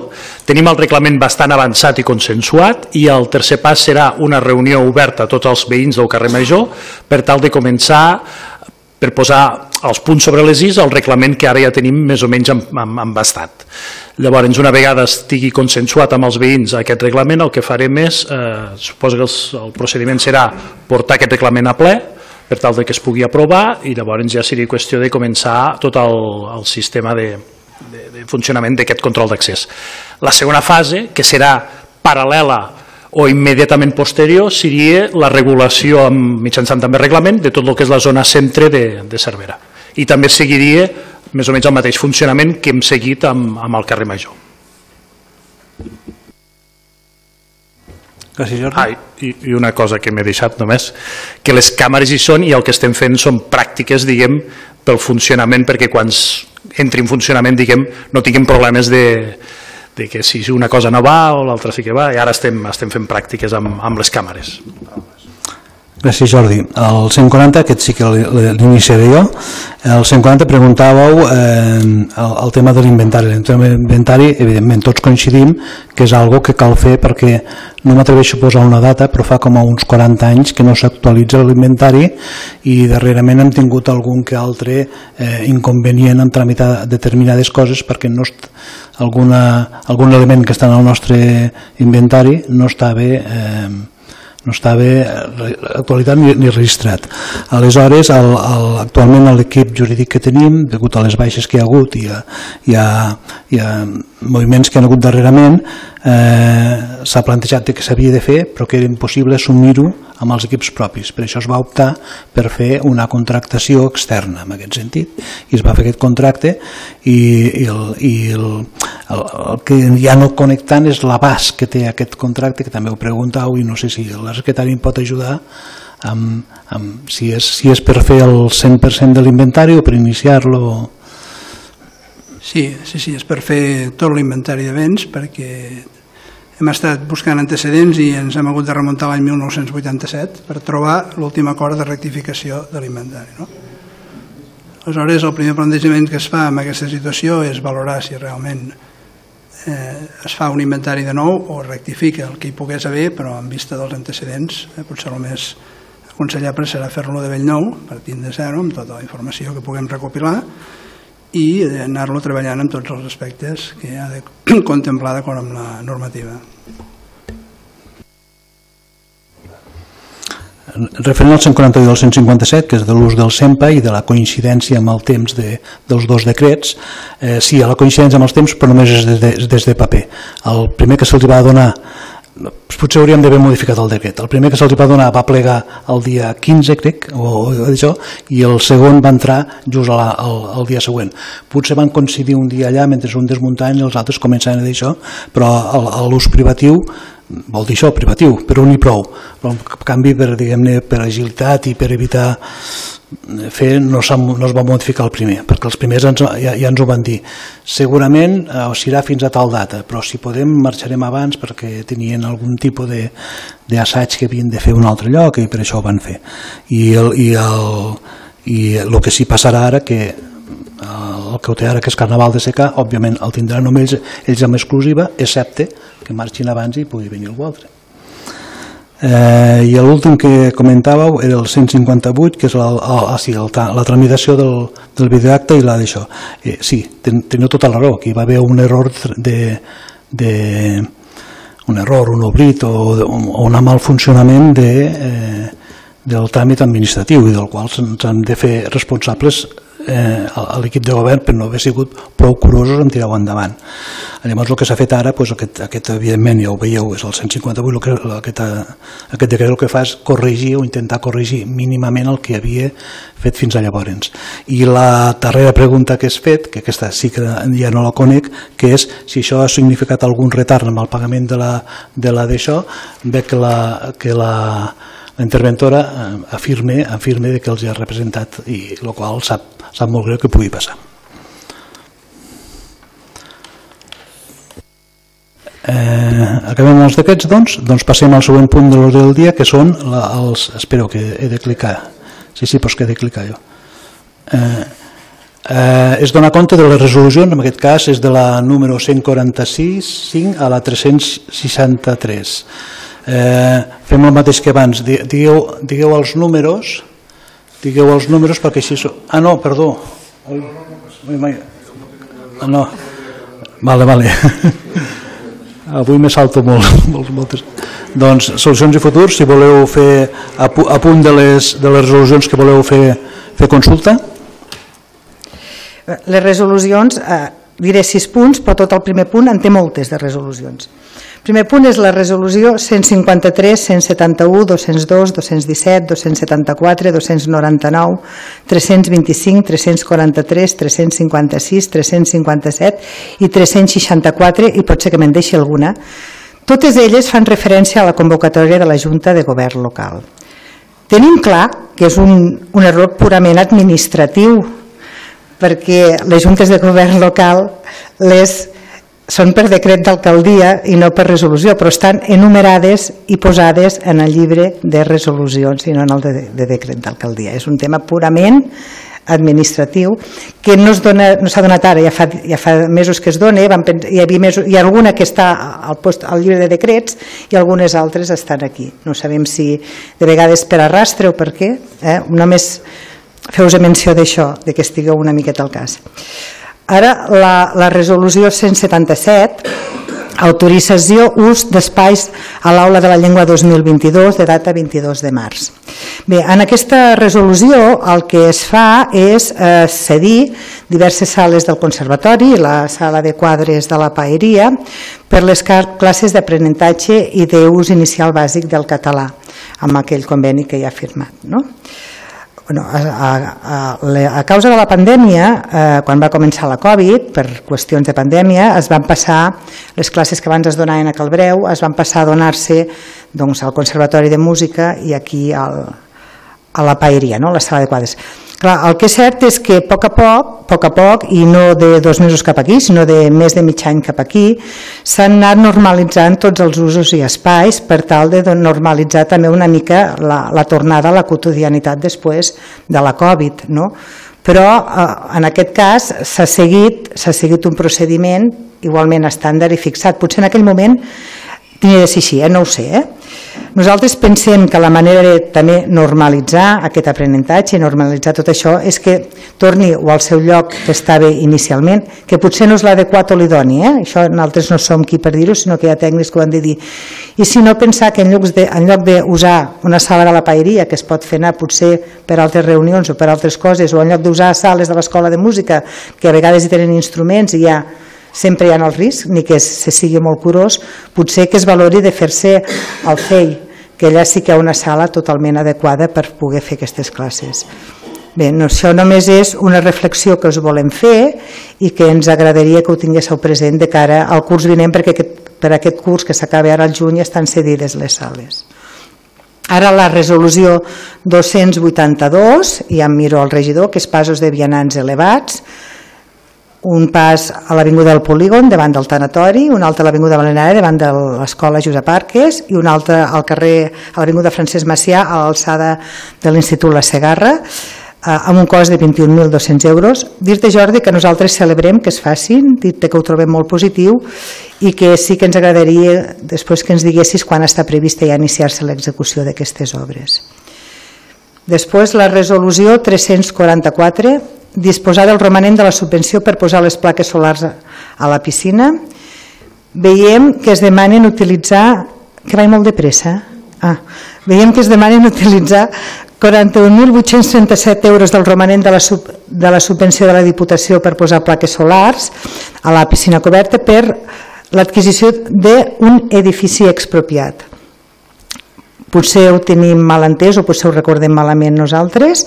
Ens semblava que quedava una partida de 60.000 euros aproximadament per fer front a l'edifici que s'ha d'expropiar allà als semàfors, perquè suposem que es refereix a això, a aquesta partida, no ho sabem segur. Ens agradaria que ens ho expliquéssiu, perquè potser és per algun altre edifici. I per últim, també m'agradaria que el regidor del Conservatori ens aclarís una mica la resolució 346 i 347 les subvencions de la Generalitat del, per al Conservatori per als cursos 2018-2019 i 2019-2020. Voldríem saber eh, si ja estan tramitades, per quan es preveu i quin import es preveu que se'ns dongui amb aquestes subvencions i si aquestes subvencions són les que fa tants anys que ja ens deu la Generalitat. Només és això. Aquestes són totes les resolucions que tenim amb la 153 i, i, i, i conseqüents, sí, bueno, és, és, evidentment és un, és un defecte formal, està bé que, ho sab, que ens ho digueu perquè eh, eh, es corregirà i evidentment han de ser tots per decret. Eh, el 177 també em correspon a mi, el 177 és el que comentàveu de, de, la, de la sessió de l'ús de, de les aules. Sí, això, teniu raó, això bé, es va eh, es feien a Calbreu, algunes d'aquestes, Calbreu sempre hi, ha hagut, hi havia hagut, i potser vosaltres ho coneixíeu perquè em sembla que estàveu més o menys a govern, a govern aleshores, eh, no agradava gaire l'edifici, a part de que eh, està ubicat en un lloc de veïns i mm, hi havia intenció de buscar altres llocs i s'havia buscat precisament al conservatori, alguns d'ells. Llavors la pandèmia va fer que el conservatori no hi hagués prou i es va decidir aquesta, aquesta aula d'aquí. Eh, la sessió es fa per períodes, de, crec que són trimestrals, i l'últim període que hem fet ara era aquest, això ho vam fer el mes de març, era quan estava la pandèmia a mig fer, i òbviament la sessió que fem tant a un lloc com a l'altre, eh, em sembla que és correcte, eh, gent que estan fent el mateix curs, canviar-los i a última hora i buscar un lloc on fer-ho, eh, com heu proposat el CEI, el CEI ja sabem, té un, té un problema el CEI, que és l'alumnat que va amb aquests cursos eh, bàsicament són, són persones que no disposen de vehicle. Han de ser acompanyades o per algú que els pugui portar. I el CEI podia, podia, reflect, podia entorpir aquesta, aquest ús. Eh? Eh, no sé, Eh, evidentment ho mantindrem fins a final de curs perquè si el, juny acaben, que total falta un mes i poc per acabar les aules i cada setembre ja retomarem o reprendrem el tipus de veure quin lloc se'ls pot, pot donar. Aquí a la paeria, que potser és el que més xoque, no, no ocasiona gaires problemes, Eh, se'ls cedeix sempre a canvi de que si que fa falta aquella sala aquell dia no hi ha classe. Però ells eh, l'utilitzen crec que és de 3 quarts de 3 a, a quarts de 4 que és una hora amb la qual aquí no, no ha, de 5 a aquella hora no hi, ha, no, hi ha, no hi ha gent aquí i de moment no hem hagut de reclamar-los cap cop que deixin de fer les aules eh, bueno, eh, aquesta és la resposta que us faig amb això. Ara passarem al 282, que el passo al regidor de mobilitat, que és el tema del pas de vianants. Dels passos de vianants, perdó. Bueno, ens alegrem que, que us alegreu d'aquesta d'aquesta proposta d'aquests tres passos de vianants consensuats amb serveis tècnics i amb policia local i eh, com ja és molt ben dit la, la memòria està redactada està en exposició pública i ara es, bueno, es deuen acabar quan s'acabin els terminis iniciarem la licitació els terminis concrets no, no, no el sé però esperem que aquest estiu mm, puguem fer aquestes tres, tres actuacions necessàries per la seguretat D'acord? Doncs passem a la 344, que no m'he notat que era. La del Ro. El romanent del, de, la, de la piscina co- coberta, de, de les plaques solars, de de la subvenció de la Diputació. Sí, qui la, qui la va assignar? La, no.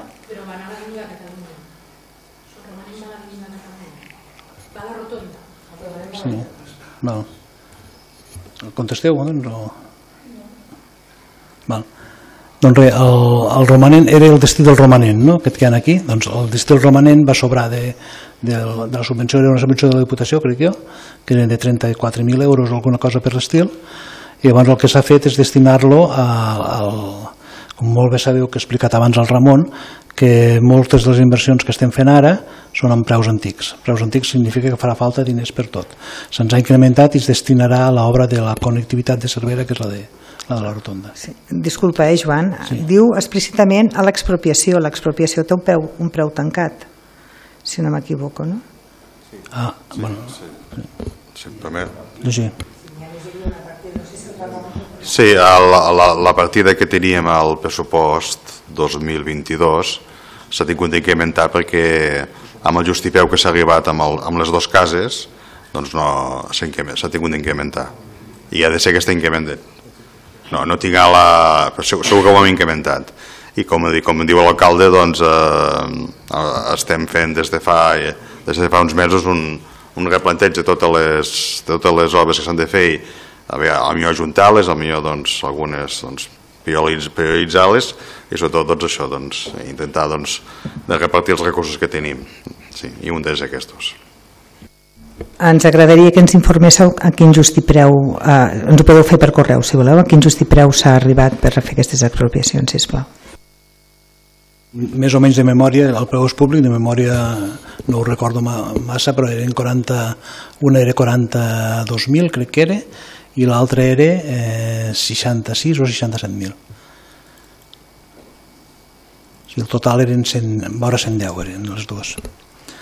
Val? Eh, passem als dos, als dos següents resolucions, són la 346 i 347, que preguntava sobre les subvencions rebudes de la Generalitat pel Conservatori i passo la paraula al Ramon.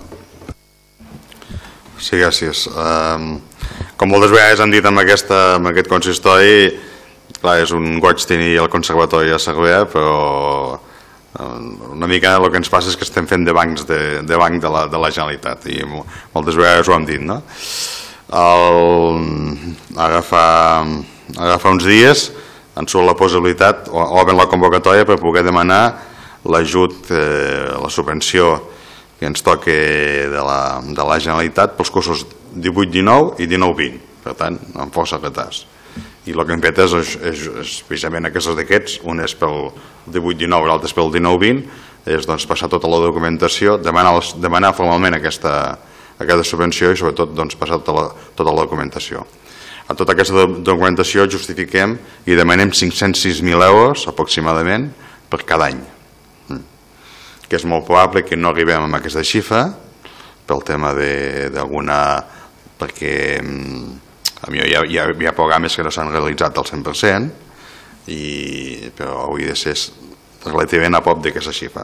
El que demanem és 506 506.000 euros, el picó no el sé, de memòria per, per cada any. No hi ha cap més comentari sobre resolucions i decrets, doncs ja deixem acabat el, la fase de control del govern i passarem a l'últim apartat que és el de pregs i preguntes. Ho farem igual que abans, passarem per cada un dels, dels grups municipals, formuleu, si us plau, les preguntes de segui, amb llista i llavors cada, cada regidor que es vagi anotant la seva, jo només m'anotaré les meves, eh, però vull dir per això que potser em perdo. Eh, els socialistes voleu... Sí. D'acord. Sí. Uh, a veure, avui voldria parlar una mica també de cultura popular. Vale? A Cervera, eh, tot el dia estem parlant d'activitats de cultura popular en la qual la veritat és que invertim molts diners eh? I, una, i una de les coses que és cultura popular però de, de, de primer nivell eh, és com m'heu dit abans vosaltres la llengua catalana. Però el segon eh, que ens identifica com a catalans eh, podríem dir que són les sardanes. Les sardanes eh, jo des de que Eh, o sigui, he viscut tota la vida a Cervera, des de que era petit, tots els diumenges de la vida, me n'en recordo, que hi ha hagut tocades de sardanes eh, a, a la plaça del Casal, en diferents llocs, però cada setmana, i l'afluència de gent que anava amb aquestes tocades de sardanes és molt elevat. I ara ens trobem doncs, que hi ha una sèrie de gent que estan lluitant perquè es facin sardanes a Cervera, i resulta que l'Ajuntament els diu que no té diners. Vale?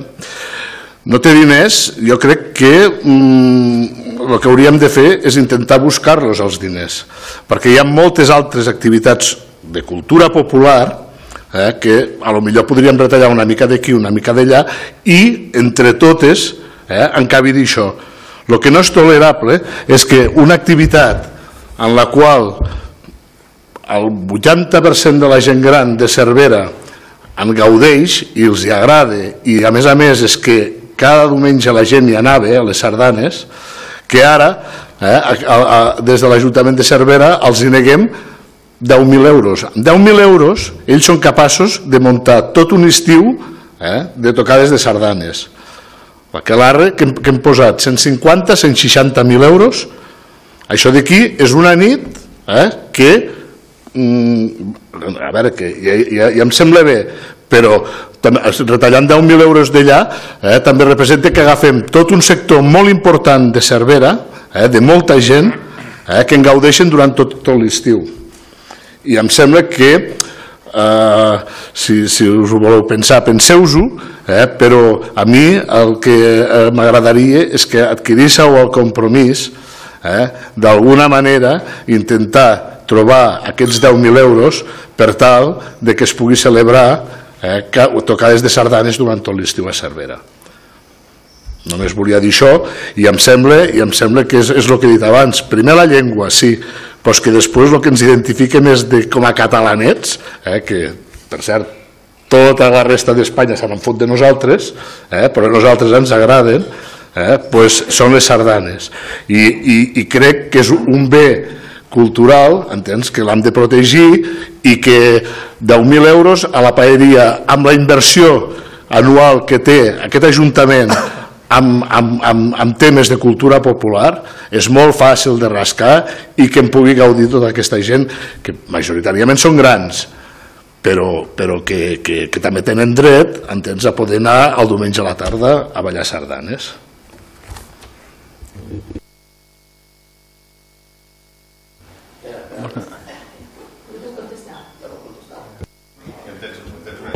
M'agradaria contestar com a regidora de Cultura, perquè sóc jo. Ah, vale.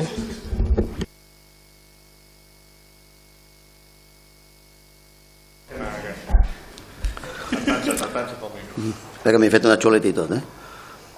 A veure, just avui fa 10 dies que vam poder celebrar un any més el Dia d'Europa, commemorant l'inici i formal de la construcció europea amb la declaració Schuman del 9 de maig de 1950. Dit això, voldria preguntar per què l'Ajuntament de Cervera ja no compta amb la bandera europea entre les banderes oficials de l'Ajuntament. Vale?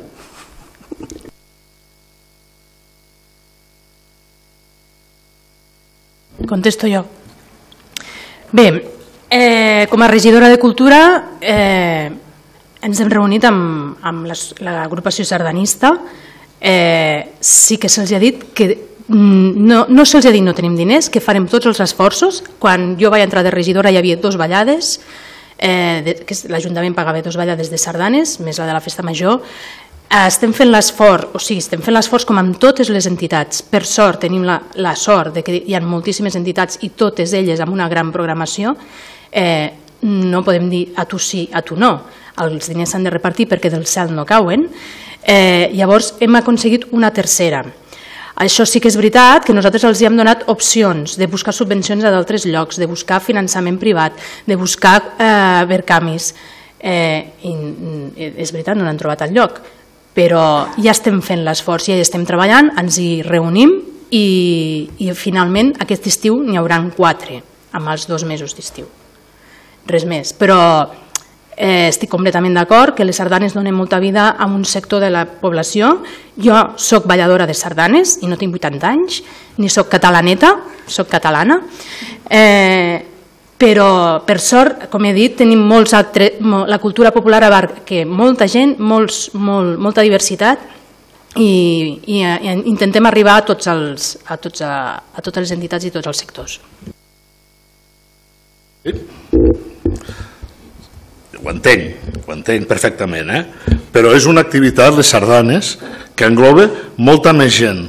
O sigui, el que has dit que venim d'una altra legislatura de que, en la qual només se'n pagaven dos de tocades de sardanes, també malament, també ja, ja, ja m'havia queixat d'això l'altra legislatura.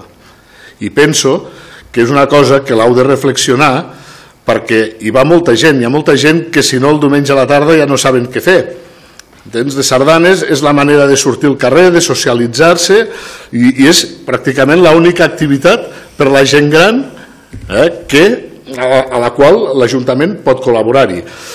No sé on, ja fa temps, mirant per internet vaig veure que Cervera és un dels, de, una dels pobles o ciutats en la qual s'inverteix més diners en cultura popular. Vale? Eh, per sort. Estem a uns 400.000 euros no em crec que, amb bona voluntat, eh, no es puguin treure 10.000 euros per fer una tocada de sardanes durant cada, cada cap de setmana, al mes de juliol i al mes d'agost. Són 8 tocades de sardanes, a 900, a 900 euros cada tocada de sardanes, fas la multiplicació i, i, i no és tan car. Jo crec que buscant i buscant es pot trobar aquests diners eh, i deixar gaudir a una part molt important de, de cerverins entens d'aquesta activitat. Ostres, Raimon, ens n'alegrem moltíssim que estiguis parlant i defensant la cultura popular. Volia, volia deixar-ho palès. Jo no tinc res en contra eh, de la cultura popular, no t'ho pensis jo el que, el que em fa més por és de que es deixin molts diners en cultura popular i després es deixi de banda altres coses que també són importants per, per molta altra gent. O sigui, tota en aquesta vida tampoc no és cultura popular. L'Ajuntament eh, ha de tindre la seva part de cultura popular, eh, ha de reclar els carrers, ha de, ha de tindre centres d'educació, o sigui, l'Ajuntament no és solament cultura popular. L'Ajuntament és un ventall de coses eh, molt diferents. I llavors, que, que, a veure, que, que jo, per què tan alegres de que a mi, de que a mi m'agrada o defensa la cultura popular? La cultura popular jo l'he defensat sempre, eh? Vull dir, jo no tinc res en contra ni de la quelarre ni de, ni de moltes coses. No, no, no, no cal que facis cares perquè és així. Algun, algun comentari? Sí, perdona. De les, de les sardanes només a nivell econòmic. El pressupost del 2020, les sardanes estaven amb 2.200 euros de pressupost. El pressupost aprovat pel 2022 és de 1.800. 1.800. Digues, digues. Eh, i, i, i farem un, una transferència de lo que és activitats i traurem d'allà diners d'altres activitats per ampliar la partida de sardanes. Per això ah, podem ampliar aquesta. Però eh, dir-te que el conjunt d'activitats, de totes aquest pack gros d'activitats culturals, més totes les altres, i, i poses Aquelarre, que, que és una altra regidoria, però no passa res, tot és cultura. Eh, tot, eh, si tu vas a mirar, són, to, són totes, totes, totes deficitàries. Tant de bo tinguéssim el doble de pressupost. Perquè, torno a dir, Cervera té moltíssima activitat cultural, molta, o sigui, te'n vas per tot el territori i la gent se'n fa creus d'ell. Però això n'hauríem d'estar molt orgullosos i hauríem de tenir un pressupost, o sigui, busquem 500 persones que s'empadronin a Cervera i tindrem més pressupost, perquè tindrem més recursos. Però, però... No hi ha habitatge, no poden. No, no, no poden. Bueno, eh, tenim un pressupost que no podem arribar per tot el que hem de fer. Com, to, com, com tu has dit, no? carrers, tot això també s'ha de fer. I tot és deficitari. Jo l'únic que vull dir és que si, si, si, si, so, si ens ho mirem una mica des de la distància, eh, la, la, la, la, el, el 80%, el 80% de, o el 90% de la cultura popular que fem a Cervera va dirigida a la gent jove, la majoria. I llavors, o sigui, tenim una mica oblidada a la gent gran. Eh? Tots heu sentit que la festa major de Cervera pues, passa el que passa, de, i llavors és un sector de gent que tenim una mica oblidat. Una tocada de sardanes, entens? Jo crec, jo crec que sense cap esforç eh, fer, acontentar amb aquest grup de gent, eh, jo crec que la paeria faria una bona acció. I, i penso que us hauríeu de pensar seriosament eh, amb, amb intentar pues, pues, que es poguessin celebrar com a mínim una toca de sardanes cada cap de setmana al mes de juliol i al mes d'agost, com s'havia fet tota la vida. Eh? Gràcies. Alguna... Doncs passem al segon punt, que és el del, el del Dia d'Europa. El Dia d'Europa no, ah, bueno, la bandera es posa pel Dia d'Europa. Eh, llavors, clar, eh, que celebracions pel Dia d'Europa en fan a molts pocs llocs, eh, en aquest sentit, clar, però nosaltres sí que creiem que, el, que Europa ens està fent un flac favor a Catalunya, evidentment no ens ha defensat mai amb les nostres ànsies de llibertat i, de, i, de, i ho vam tenir claríssim el, l'1 d'octubre. I a més a més eh, aquesta, aquesta Europa diguem-ne que no aposta per les vides de les famílies i que eh, amaga els refugiats amb, eh, a les fronteres de, de Turquia i possibilita que hi hagi un munt de morts al, al, al Mediterrani no ens acaba de representar del tot com a Catalunya. Evidentment que nosaltres ens agradaria tenir una Europa oberta, ens agradaria tenir una Europa que defensés les nacions, però no, no és així. Aleshores, el, el dia aquest, del Dia d'Europa, en aquest sentit, nosaltres no el celebrem. Bueno, som, som, som, som, perdó, han fet el punt aquell del, de l'antifrau per els fons europeus, per això sí que som europeus. Sí, sí, sí però el motiu, pel qual, el, el motiu pel qual no celebrem el Dia d'Europa és el que t'he dit jo. Jo no dic que no siguem europeus. També el nostre DNI diu que som espanyols i n'hi ha molts que no se'n senten. Bueno, però jo no t'he dit res de la bandera d'Espanya. Eh? Però europeus sí som. El, el mateix, el mateix cas. No? El mateix cas. Bueno. Algun comentari més?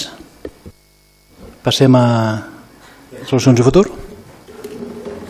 Vale. Ho dic tot de tot seguit? Sí? Sí. O sí, sí. Sí. No, ho, dic, ho dic perquè esteu al tanto de... Bueno, que... anirem, intentaré anar a poc a poc, ¿vale? En l'últim ple de l'any 2020, el de gener-setembre de 2021 i en el de gener de 2022, van preguntar pel pla de paisatge. Ha passat un any i mig, ho hem demanat en quatre plens, ara ja cinc, i continuem sense, continueu sense convocar la, la taula del pla de paisatge. Voldríem saber si, si és que ho penseu fer algun dia.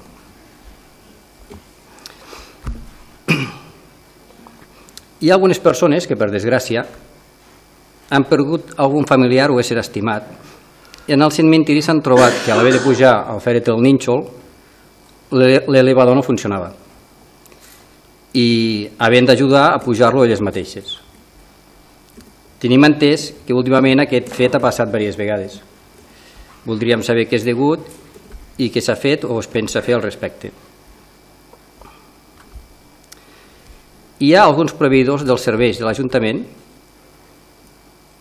que ens han comentat que quan treballen per l'Ajuntament els costa de cobrar i que tarden de dos a tres mesos. Fins i tot n'hi ha que han tardat sis mesos a cobrar. Voldríem saber a què és degut. Ja sabem que en l'estat de morositat el terme mitjà de, de pagament són 26 dies i com molt bé ha dit el regidor d'Hisenda, de, eh, clar, és un termini mig. Però vaja, ho diem perquè sabem que hi ha moltes licitacions que queden desertes i si a més a més la paeria agafa la fama de que paguen retard, encara costarà més que es, que es presenti algú. El dia 24 d'abril vam enviar un WhatsApp al grup de la paeria amb la foto d'una rata passejant tranquil·lament pel centre de Cervera per posar un coneixement de tot l'equip de govern. Però ningú va fer cap comentari, cap comentari ni va donar cap explicació ni tan sols va dir si pensàveu prendre mesures al respecte. Eh, tenim entès que això va passar perquè no es va tirar el raticida quan tocava. És veritat? I què s'ha fet o s'està fent també al respecte? En el ple de novembre vau comentar que per vosaltres era més, era més prioritari pintar els passos de vianants de, vianants de Cervera que la carretera de Gramunt. Un cop pintada la carretera de Gramunt i passats set mesos ens trobem que la gran majoria dels passos de vianants continuen sense pintar. Voldríem saber quina previsió hi ha, si és que n'hi ha alguna. També voldríem felicitar a la regidoria d'Esports per la construcció del punt track. Té molt èxit i la veritat és que ha donat molta vida aquest, al, a la zona de l'skatepark. En segon lloc, voldríem saber quan es farà la Casa de l'Esport. No entenem que un projecte que estava redactat i inclòs en el pressupost del 2020 i llest per a la seva realització, és a dir, que hi havia els diners per fer-ho, al cap de dos anys encara no s'hagi fet res. En tot cas, voldríem saber quan està prevista la realització. En el ple de juliol de 2021 vam comentar que si, us vam comentar que si consultàveu o consultàvem la pàgina web de la paeria, en l'agenda del PAECAP només hi havia un calendari buit. Si la consultem ara, veurem que des de l'agost fins ara el calendari continua buit, excepte de l'1 al 10 de març. Home, ja sabem que l'alcalde ha treballat més, però fa una mica de mal d'ulls. En compliment del principi de transparència us preguem que, que estigui actualitzada. També, perdó, també hem vist i ens han comunicat eh, diferents veïns de Cervera que pel Festival de Pasqua es va habilitar la plaça Pius XII com a aparcament, així com també algun diumenge de la Passió. Voldríem saber quin criteri es fa servir, doncs hi han hagut d'altres actes a Cervera on hi assisteix molta gent i aquesta plaça no s'ha habilitat com a aparcament. Com ja sabeu, aquest diumenge, coincidint amb la Fira del Pa, es fa una trobada de patinadors de tot Catalunya. La ruta que es fa intenta passar per diferents fonts de Cervera, perquè els participants puguin hidratar-se i més tenint en compte la calor que farà aquest cap de setmana. La sorpresa ha estat quan els organitzadors, aquesta setmana, al fer la ruta per comprovar el seu estat, eh, la majoria no funcionen. Concretament, eh, la font de la plaça del carrer Guinedilda, de la placeta, per poder veure és de xumar. A la residència és impossible perquè no queda xop, a la de la residència del carrer Major. A d'altres no hi ha pany i a la major part de la resta res de res. La imatge que s'emportarà tothom que vingui a Cervera serà bastant lamentable. Demanarem una cosa que sabem que és impossible, però podran estar arreglades, per diumenge perquè tothom que vingui de fora no s'emporti aquesta mala imatge de Cervera?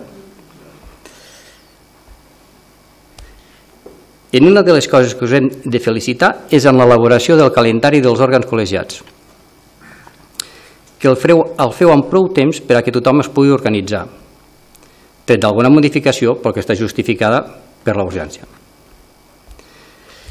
Dit això, hi ha una situació que s'ha donat repetidament des de la Constitució de l'actual equip de govern i que trobem molt preocupant, que és l'assistència dels membres de govern als òrgans col·legiats de la paeria, concretament a les juntes de govern.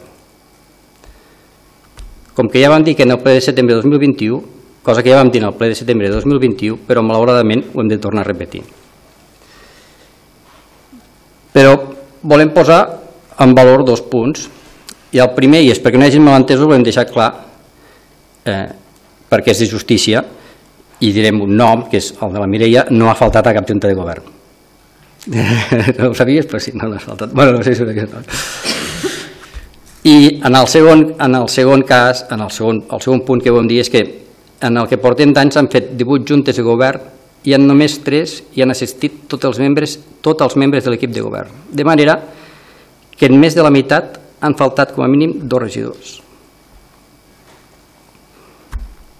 Els dies 29 d'octubre i 9 de novembre de 2021 us vaig demanar per e-mail les còpies de les actes del Consell d'Administració de l'empresa d'aigües. De l'últim any i mig, bueno, ara ja serà dels últims dos anys, dos anys. A la qual cosa el dia 11 de novembre em vau, eh, em vau contestar que s'estaven recollint i que en breu se'ns facilitarien. Tot això ja us ho van dir en el ple ordinari de gener i en el del març. Tu, Joan, ens va respondre que ens les enviaria sense falta. Home, es tracta d'una feina de 5 minuts. És tan senzill com dir-li a la secretària del Consell d'Administració, per cert, una persona molt eficient, que les enviï per mail. Les actes estan guardades en format digital i només s'han d'enjuntar al mail. Han passat 7 mesos i encara estem igual. Mm, és que comencem a pensar que hi ha alguna cosa estranya, que entenem que no, volem, no hi ha res a amagar, però clar, ens comencem a estar una mica preocupats. I finalment, eh, volem agrair, volem agrair a Joan la millora en la comunicació amb els membres del consistori que no estem a govern. I aquí és tot el que us hi hem de dir. El primer, és el, el primer tema que ha sortit és el de la pla de paisatge, esteu reclamant quan es reunia la, la taula. És una cosa que, el, que bueno, teniu tota la raó, només es va fer molt al principi una reunió amb el, amb, el, amb l'agrupació només amb una, eh? amb la del grup de defensa del, del, del medi natural i una de les coses que vam parlar llavors és de que havíem de retromar la taula, però encara no ho hem fet. Llavors suposo que ho, és, tens raó en aquest sentit de que sí que ho haurien de fer perquè a més a més la taula de paisatge o el pla de paisatge té afectacions directes amb la preservació de la natura amb el tema de les, eh, de les eòliques, bàsicament eòlics, eh, perquè és el que, el que ens estan posant, no el nostre municipi, però sí els municipis veïns. Eh? I haurem de reprendre, haurem de reprendre-la, però en aquest sentit no, no, no ho hem fet, vull dir, no, ha escopsat una realitat. Eh, segon punt que has parlat és el, el tema del, del cementiri que passa, que passa amb el sistema de, el, sí, s'ha espatllat la, la màquina s'ha espatllat un parell o tres de cops i la, la seva reparació sempre ens ha costat més del compte de, de fer. Tenim un problema que és que la màquina del cementiri eh, ens està dient el, que hauria d'estar eh, resguardada en algun espai. I estem intentant fer algun muntatge però també ens costa perquè significa fer una caseta. Fer una caseta tenim dos problemes. Un és el de, de eh, serveis tècnics el tipus de caseta que volíem fer no ens la deixa fer que seria a base d'uns panells perquè estigui perquè no, no, com, no comprova i l'altre és el, pres, el pressupost i anat?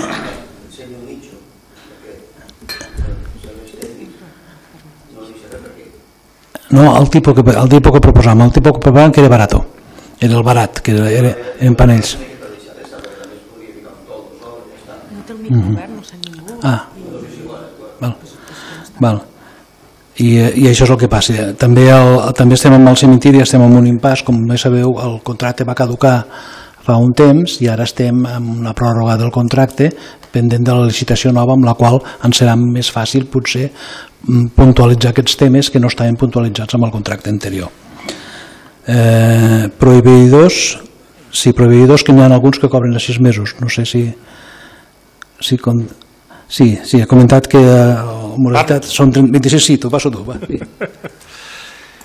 No, vull dir, si ens podeu passar aquests, els noms d'aquests proveïdors i de les factures que es tracten, si ens ho podeu facilitar, llavors ho mirem i podrem analitzar cada cas i donar la resposta no, no dubto en cap moment de, de, la vostra, de les vostres afirmacions. Eh? El que passa és que per poder-ho solucionar, si ens dieu quins noms... No, no quin, eh? Vull dir, ja, ens ho passeu i llavors ho mirem i segurament hi ha algun motiu justificat justificat per part de la casa, eh? no, per, no pas per part del proveïdor. La segona pregunta feia referència a la fotografia d'una rata que es moia pel, pel, casc, eh, pel casc antic. Eh, o més per, davant, per davant de, de la zona nova que s'ha pintat per ampliar la vorera allà al caixer de la caixa de pensions. Sí, sí. Bueno, tothom sabem la, que, que l'existència de rates i és, i és sempre, sempre que hi ha un, es detecta alguna rata, es parla aleshores amb, amb, amb l'empresa d'aigües, que és l'encarregada del clavegueram, per si que faci una derratització. Llavors sempre es procedeix a fer una derratització. Els tempos, potser ja heu dit que és el que falten, que falta alguna vegada. També ens han dit que hi ha alguns, alguns llocs amb els quals eh, tirar-hi verí és complicat perquè estan en una zona amb la qual hi ha molta gent pel costat. Em refereixo a la plaça Universitat. A la plaça Universitat diuen que el tipus de, el tipus de clavegueram que hi ha, si se tira massa massa matarrates, però d'alguna manera pot tenir afectació a la població. Llavors, eh, aquí s'hauria de fer un altre tipus d'actuació que sigui a la de la neteja, perquè es veu que és una zona, suposo que perquè la gent passegi per allà, moltes vegades porta menjar o el que sigui, va parar a menjar a les clavegueres. I això d'aquí és el que fa moltes vegades que en algun moment determinat hi pugui haver algun, algun tipus de, de, de, de, de colònia de, de, de rates, eh, en aquest sentit. Eh... No, no, no, no, només, només, eh... sí, sí, parla. no, només comentar que l'empresa d'aigua segueix, segueix el, el seu pla de, de, de gaticida. Eh? El que passa que la veritat és que no només a Cervera, sinó jo que en tot el, com a mínim en totes les zones que connecta Catalunya l'increment de gates és important. Ens ens trobem en aquesta situació i, i s'està treballant. S'està complint amb, amb el pla, el que passa que hem demanat a l'empresa d'aigües i estic convençut que ho fan així, que incrementar doncs, el pla establert que l'empresa tenia, que tenia, però que en aquests moments les, les, les necessitats són diferents. Sí que molts cops ens, ens, ens comenten de que venen de, avió de solars, que estan buits, etc. O, i que el que passa que van, en lloc de, de venir de les, de la, del Clavegant, van a Clavegant com a refugi. Per això que han d'estar sobre, gràcies. La següent pregunta feia referència a pintar els passos de vianants, un cop pintada l'avinguda de, de Gramunt, ara s'hauria de passar en aquesta fase i preguntàveu els terminis o com està el tema. Jo no sé, vosaltres dos? Xavi? Sí.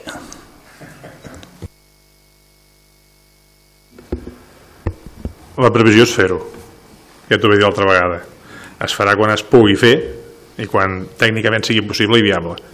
Així de clar, està previst de fer-ho.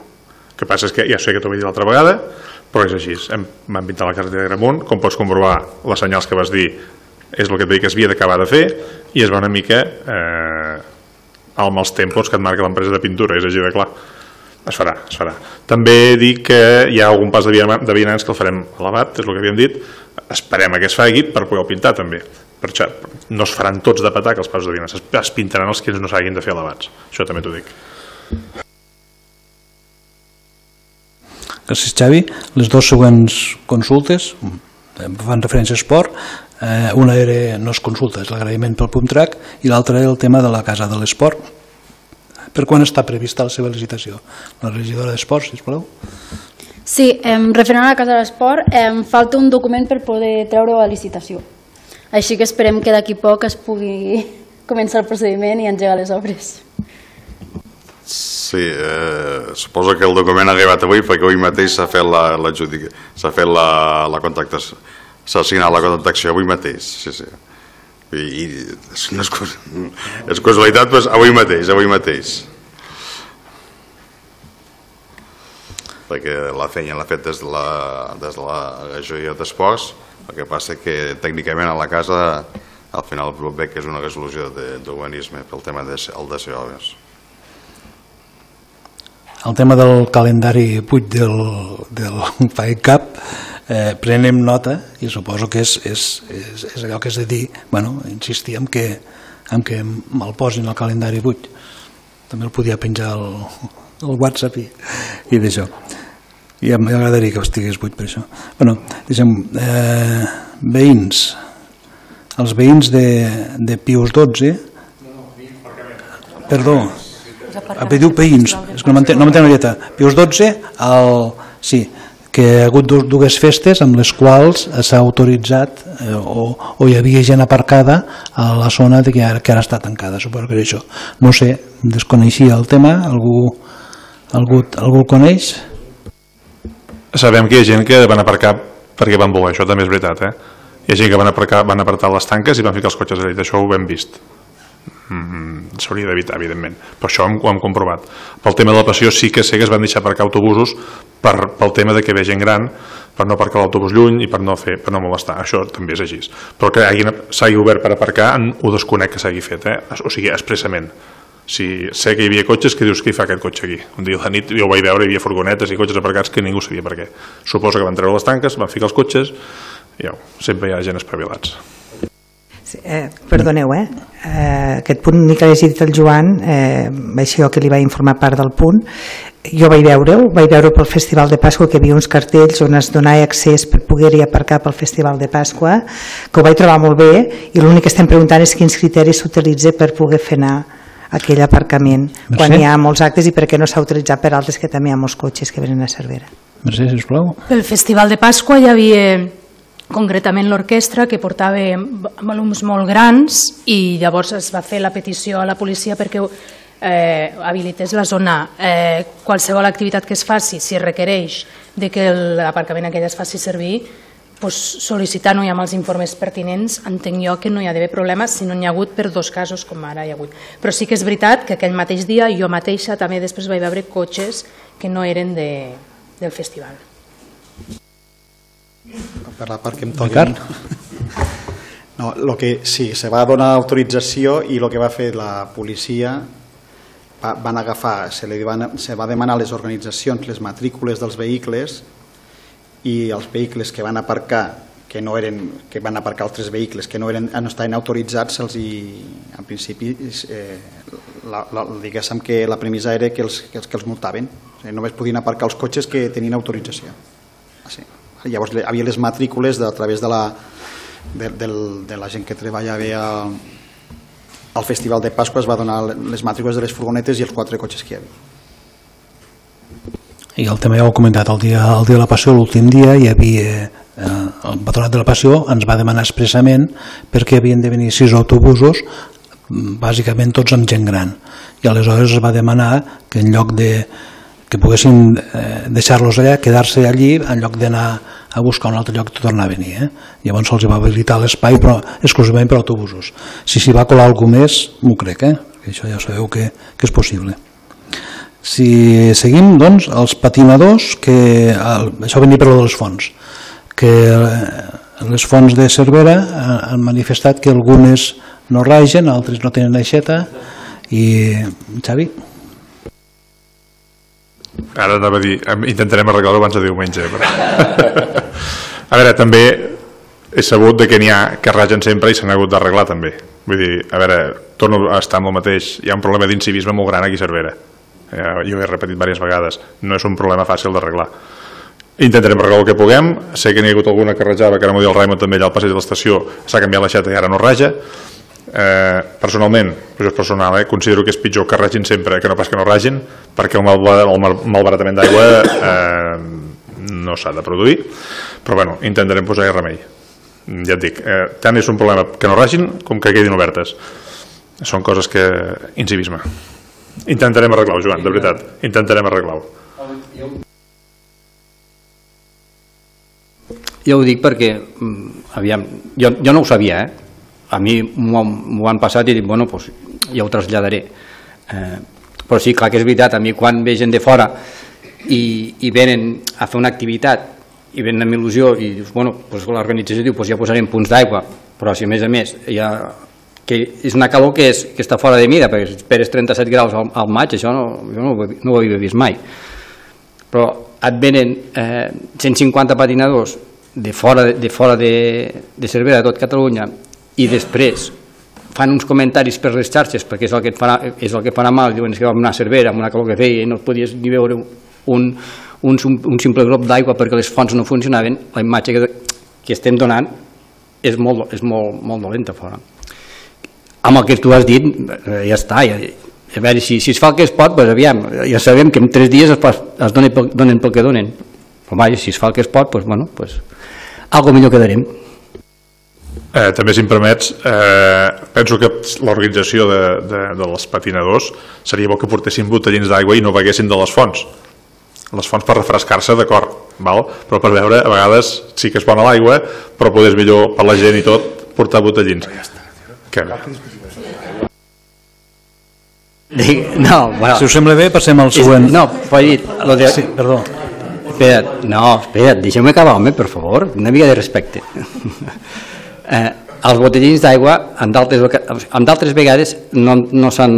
Es va donar una vegada fa molts anys, que jo recordi, però després es va decidir que no perquè és, és dolent contra el medi ambient. Es porten unes, unes bombones d'aigua, un, eh, uns, uns bidons grans d'aigua, i tothom que, que vulgui pot anar a veure d'allà. Però eh, botellins no. Cadascú es porta la seva botella, exacte. Vale. vale. Eh, el següent punt de l'ordre del dia era, era l'agraïment del l'agraïment del, de, que el calendari de, de, de, de, dels òrgans col·legiats i llavors l'observació sobre la manca d'assistència eh, no completa a algunes a diferents juntes de govern local.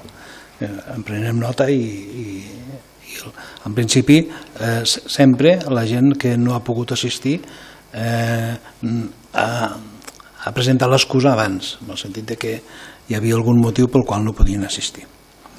I l'últim, i l'últim, perdona Joan, i dir, Consell d'Administració, n'hi ha algunes que encara no les tenim. El que dius tu de la secretària eficient és veritat. I ara, i ara, i ara, li, i ara li diem, però és que he estat de baixa quatre mesos. I ara, va ser, va ser bueno, no és igual, vull no d'això, eh, eh, ha estat de baixa per, per, per, una, per, una, per una enhorabona, per una enhorabona, eh? Val. I d'això, sí, sí, amb això tens tota la raó. I a més a més, és, és, ens en falta alguna encara, eh? No, no les tinc totes. Però clar, és que esto no les puc passar i no sé per què no te les he passat. Si vols que et diguis la veritat, no ho sé per què no te les he passat. Suposo que és allò, allò de que espero demà a veure si arriba l'altre i vas passant crec que no hi havia cap més... Cap més. Ah, bueno. Sí, perdó, perdó. si em permets només vull puntualitzar una cosa i és lo de l'assistència, és a dir, heu fet una cosa que és molt bona que realment d'altres vegades amb d'altres governs s'ha intentat fer i és la de eh, planificar el, el, els òrgans col·legiats llavors tothom en principi ha de tindre el temps suficients per planificar és comprensible que tu puguis fallar un any, puguis fallar tots però quan tu falles més d'un 50%, una, una, una falta d'assistència sistemàtica és, pots, és a dir, és dir, prioritzes altres coses a, a, a l'assistència. Nosaltres ho entenem així. De fet, um, com a variable error no funciona. Quan tu dius un 50%, mm, no és una variable error és, senzillament és aleatori pura, pura i simple. Sí, gràcies. Eh, no hi ha més punts a l'ordre del dia, hem acabat ja el, el, però en el sentit de vull dir que es tanqui l'acte i que ja deixem per acabada la, el ple d'avui i els equips tècnics, si voleu, podeu retirar-vos. Jo ara ja, ja tancaré tancaré